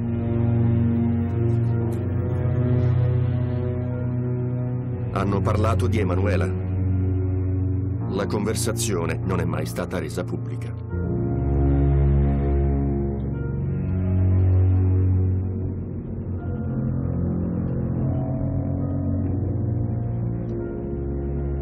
Fine dicembre 83. La ragazza è scomparsa da sei mesi. L'americano e il fronte Turkesh non danno più segni di vita. Ma tutti pensano che Emanuela sia stata rapita per far liberare Ali Agca. Eppure, 14 anni dopo, si scoprirà che questa pista internazionale è una gigantesca manipolazione. La verità su questa pista arriva dalla Germania. Dopo la caduta del muro di Berlino nel 1989, i servizi segreti della Germania Est, la Stasi, aprono i loro archivi e confessano di aver avuto un ruolo nel caso Orlandi. L'uomo che svela i misteri è Gunther Bonsack, un colonnello della Stasi. In via del tutto eccezionale ha accettato di essere intervistato. All'epoca Gunther Bonsack dirige l'ufficio disinformazione. Una delle principali missioni di cui si occupa ha il nome in codice di Operazione Papa, iniziata subito dopo l'attentato fallito a Giovanni Paolo II. All'epoca si sospetta che i paesi comunisti, con la Bulgaria in testa, abbiano commissionato l'attentato. L'Unione Sovietica chiede alla Stasi, la migliore rete di spionaggio del blocco dell'Est, di creare un diversivo.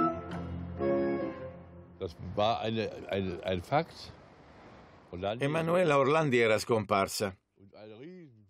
Era un grosso caso che ebbe una risonanza enorme in Italia.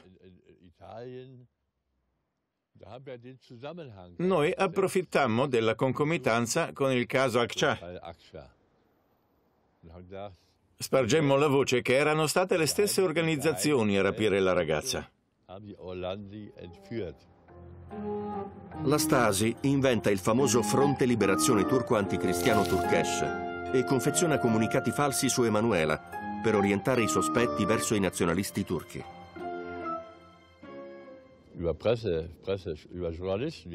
I nostri agenti erano dappertutto, alcuni erano addirittura giornalisti. Inventavano continuamente nuovi indizi. Abbiamo visto la ragazza, non è morta, è ancora viva. I nostri agenti alimentavano continuamente il caso soffiando sul fuoco. Non avevamo la minima idea di dove fosse, ma quel caso ci fu molto utile. Lo scopo dell'operazione Papa era stato raggiunto, perché ci credeva il Papa stesso. Operazione riuscita. La Stasi scagiona i bulgari.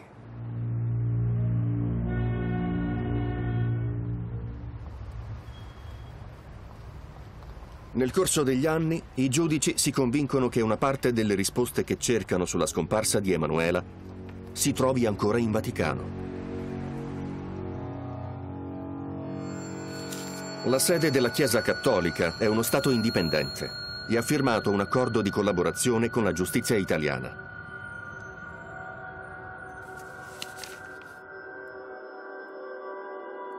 Tre anni dopo la scomparsa di Emanuela, un giudice invia una prima rogatoria allo Stato Pontificio per chiedere aiuto.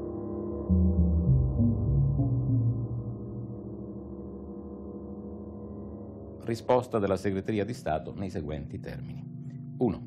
Nessuna inchiesta giudiziaria è stata esperita dalla magistratura vaticana trattandosi di fatti avvenuti fuori del territorio dello Stato.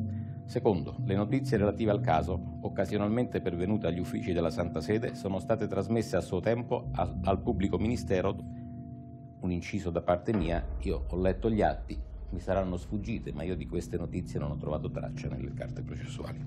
Loro hanno sempre negato e continuano a farlo di aver mai indagato sulla scomparsa di Emanuele Orlando. Sembra impossibile anche perché poi ci sono dei segnali che emergono eh, nella direzione opposta. All'inizio degli anni 90 gli investigatori si interessano a Raul Bonarelli, che all'epoca della scomparsa di Emanuela ricopriva l'incarico di vice capo della vigilanza vaticana. È sospettato di essere collegato a un altro caso di sequestro. I suoi telefoni vengono messi sotto controllo. Il 13 ottobre 1993 viene convocato dai giudici. Alla vigilia dell'interrogatorio viene intercettata una sua chiamata tra lui e il suo capo al Vaticano.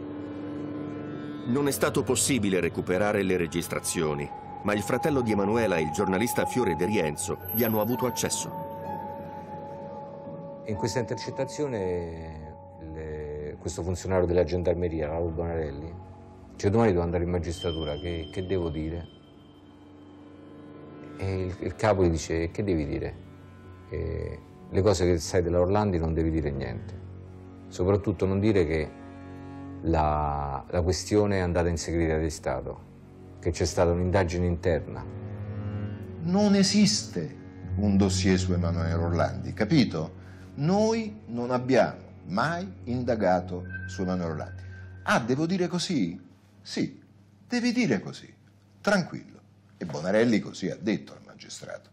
Questo però ovviamente letta e ascoltata si capisce benissimo che non doveva parlare del dossier che esiste. La cosa mi ha colpito perché subito dopo gli dai la cittadinanza variana, come per, qualche modo per proteggerlo. Quindi paradossalmente per interrogarlo servirebbe una rogatoria internazionale adesso. All'epoca Bonarelli viene accusato di aver intralciato le indagini, ma in mancanza di prove viene scagionato. Il Vaticano si rifiuta di collaborare. I magistrati ne hanno la conferma quando ascoltano le intercettazioni telefoniche della linea 158, la famosa linea speciale aperta su richiesta dell'americano per negoziare la liberazione di Ali Agca. Ecco le registrazioni. Come? 158. Cos'è questo numero? Sì, il segretario, per cortesia, il segretario Casalole. Un momento. L'americano chiama e l'operatrice cerca dappertutto il segretario di Stato Vaticano. Ma non lo trova. La ricerca dura tre lunghi minuti. Pronto? Il cardinale, per favore, subito. Ok. A questo numero. Questo, Su questo, sì. questo, Ok, questo, va questo. bene, va bene, vengo subito. Pronto? Ecco, eminenza, parla. Quando finalmente il eh, segretario di Stato giunge all'apparecchio, si sente la sua voce, dice pronto, e qui si interrompe la registrazione fornita dal- dalle autorità vaticane.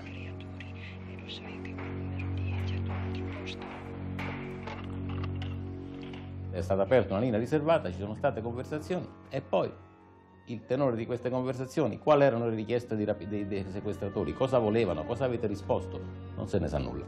Non se ne- io almeno non ho saputo nulla. Gli investigatori si scontrano contro un muro di silenzio. Noi riteniamo che se avesse o volesse dare degli elementi, contribuire eh, a dare degli elementi per eh, la ricerca della verità, l'avrebbe fatto, l'avrebbe potuto fare o lo potrebbe fare.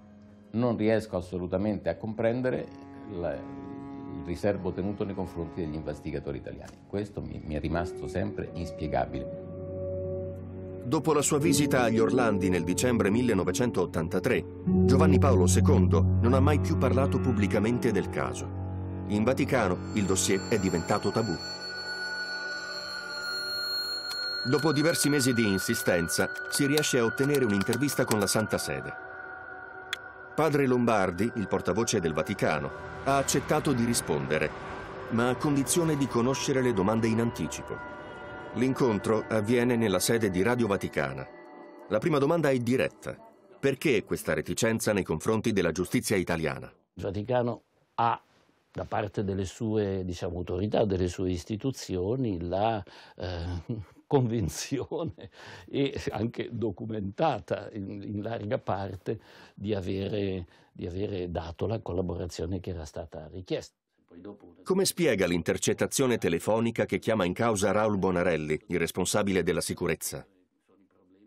Sulla questione di Raul Bonarelli hanno fatto anche le loro, diciamo, i confronti, è stato, è stato prosciolto completamente. Se si vede che non c'è niente di solido, non si può continuare a lavorare su dei dubbi che si manifestano eh, privi di, di- di consistenza reale, se no viviamo tutti di, di- fantasie e di, e eh, diciamo, di creazioni di ipotesi eh, fantastiche. Allora che si insista tanto per dire di questo caso che non è stato risolto, che eh, dipende da una non collaborazione vaticana, mi sembra che possa essere anche un po', diciamo, dico una scusa. Nel 1997 Emanuela è ormai scomparsa da 14 anni e i magistrati devono pronunciarsi sulle diverse piste che hanno seguito.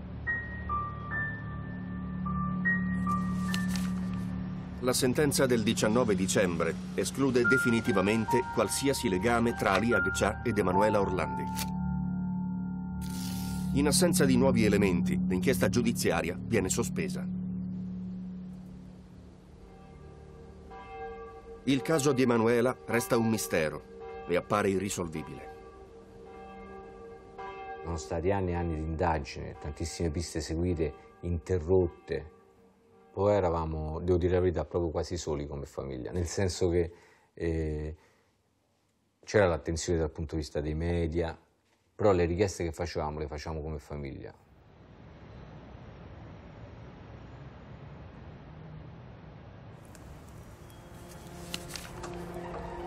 Nel luglio 2005 un colpo di scena riapre le indagini. Una telefonata anonima arriva alla trasmissione Chi l'ha visto. Si tratta dell'unico programma televisivo che parla ancora regolarmente di Emanuela. Riguardo al fatto di Emanuele Orlandi, per trovare la soluzione del caso, andate a vedere che è sepolto nella cripta della Basilica di Santa Apollinare e del favore che Renatino fece al Cardinal Poletti all'epoca. Questa enigmatica telefonata ha l'effetto di una bomba.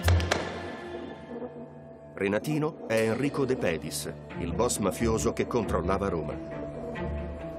Ucciso durante un regolamento di conti nel 1990, il mafioso è stato sepolto, per quanto possa sembrare incredibile, nella cripta di una chiesa.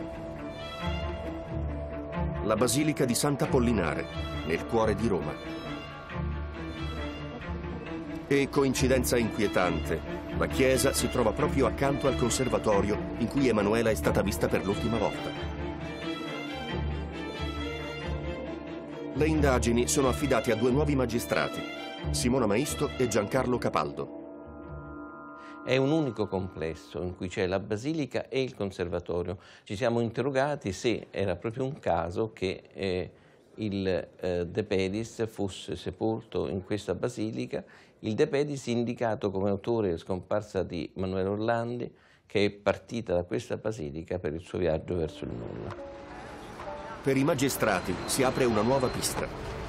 Il rapimento di Emanuela può essere legato a un ricatto della mafia nei confronti del Vaticano. Enrico De Pedis era la mente della banda della Magliana.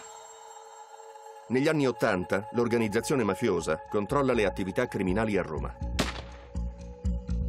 Omicidi, sequestri, riciclaggio di denaro sporco. Ed è anche specializzata in scommesse clandestine e traffico di droga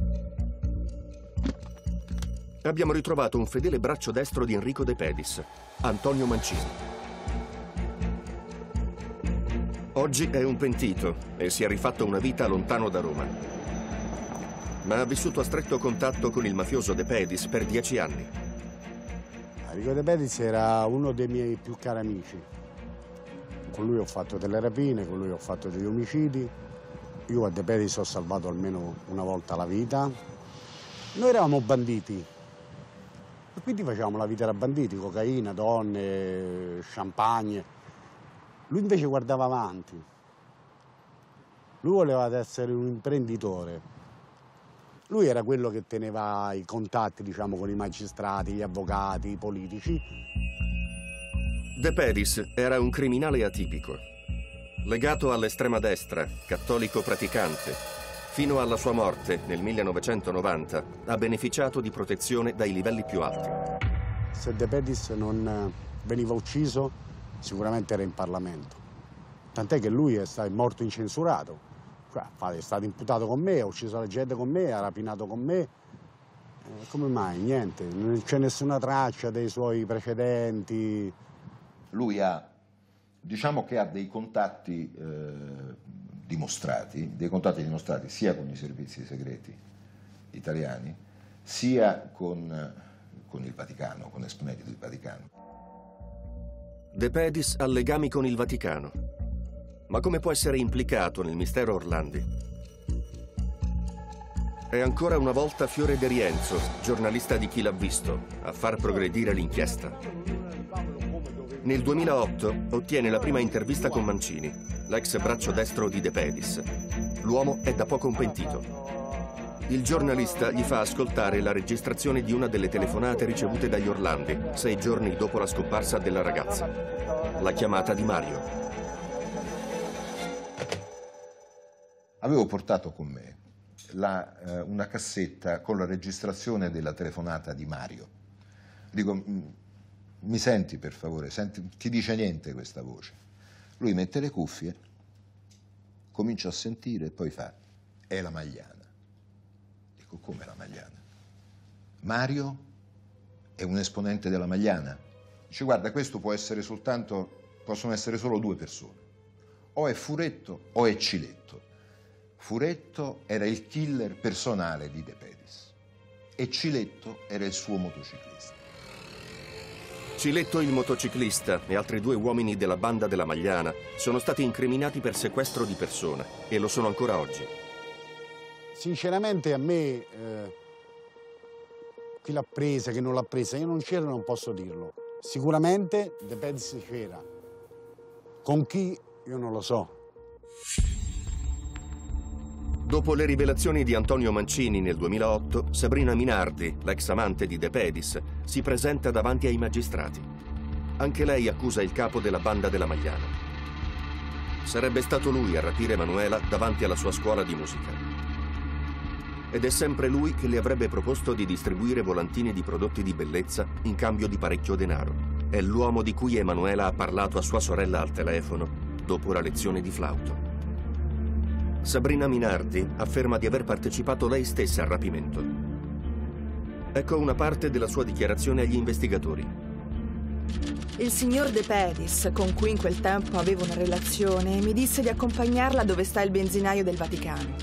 Disse che ci sarebbe stata una macchina targata Città del Vaticano ad aspettare questa ragazza. Io l'accompagnai. Secondo me era Emanuela Orlandi. Era frastornata, confusa. Si sentiva che non stava bene. Piangeva, rideva. Comunque io, quando l'accompagnai, vidi un signore che aveva tutta l'aria di essere un sacerdote. Scese dalla Mercedes nera, prese la ragazza e salì in macchina sua.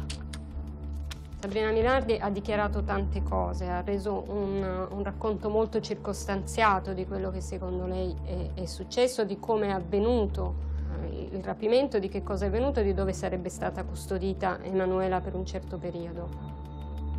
Sabrina Minardi fornisce l'indirizzo di un immobile situato in un quartiere di Roma.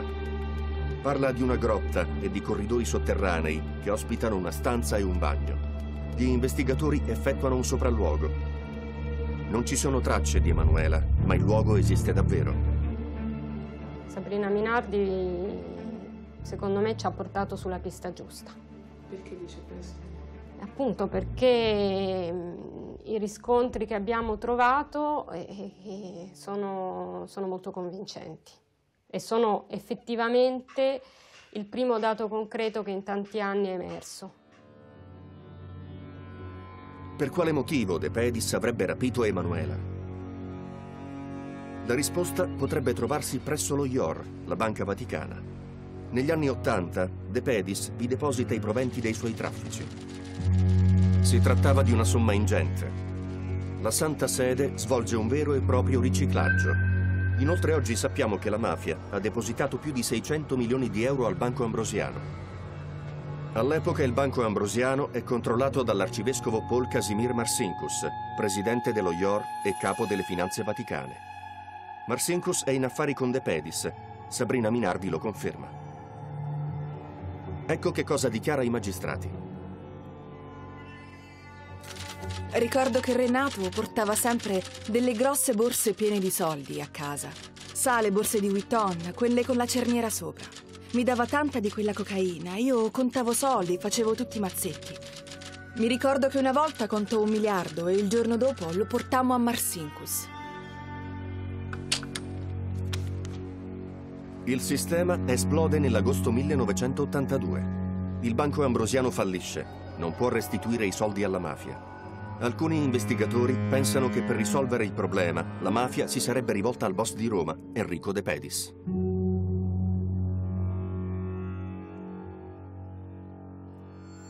Rapire una cittadina vaticana era il modo più chiaro per far capire che quei soldi li volevano indietro.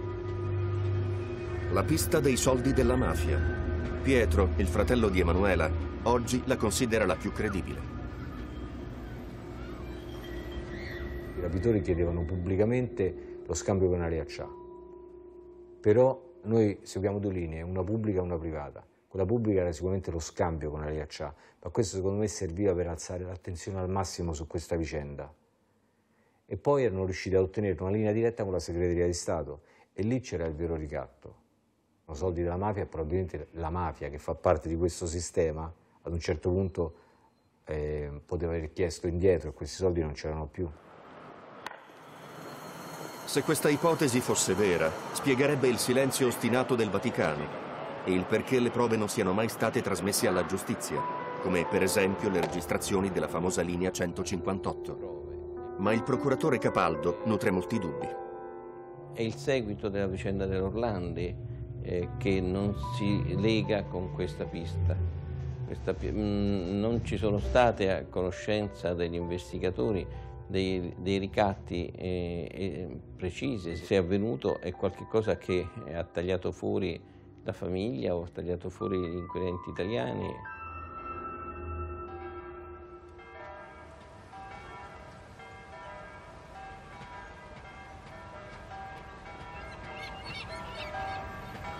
Nel maggio 2012, un altro episodio rocambolesco tiene l'Italia col fiato sospeso.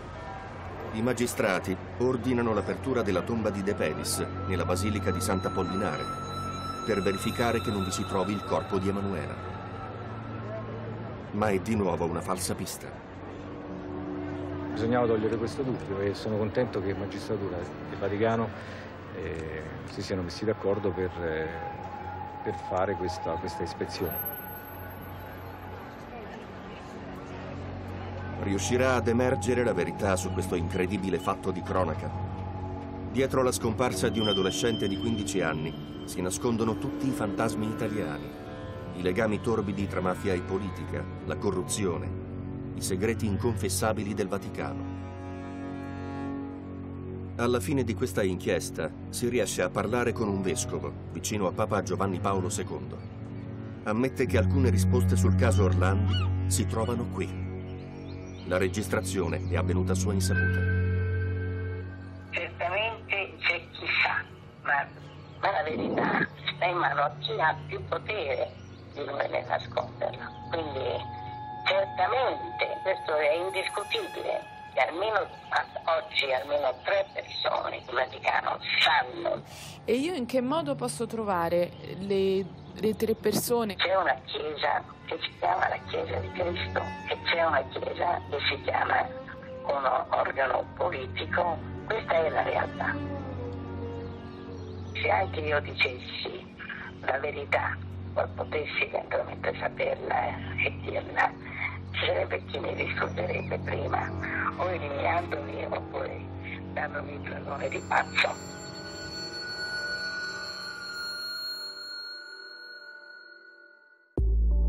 Una lunga ricostruzione dell'attentato a Papa Giovanni Paolo II il 13 maggio del 1981 in piazza San Pietro con diversi particolari eh, inediti, con delle testimonianze inedite e anche con delle suggestioni che però non hanno portato gli investigatori a trovare i mandanti, eh, coloro i quali avevano armato la mano di Ali Akçak, che in questo momento è tranquillamente libero nel suo paese, la Turchia. E poi il mistero della scomparsa di Emanuela Orlandi nel giugno del 1983. Anche quello un evento che segnò il pontificato di Giovanni Paolo II che più volte si spese per lei chiedendo la sua liberazione, chiedendo che potesse tornare a casa e abbiamo ascoltato il fratello di Emanuela e l'avvocatessa Sgro che difende la famiglia Orlandi. Noi ogni anno cerchiamo di ritornare su questo caso perché è giusto che eh, suo fratello, le sue sorelle, la famiglia intera riescano ad avere la verità, non una verità di comodo e naturalmente anche giustizia. Noi con Atlantide ci vediamo mercoledì prossimo.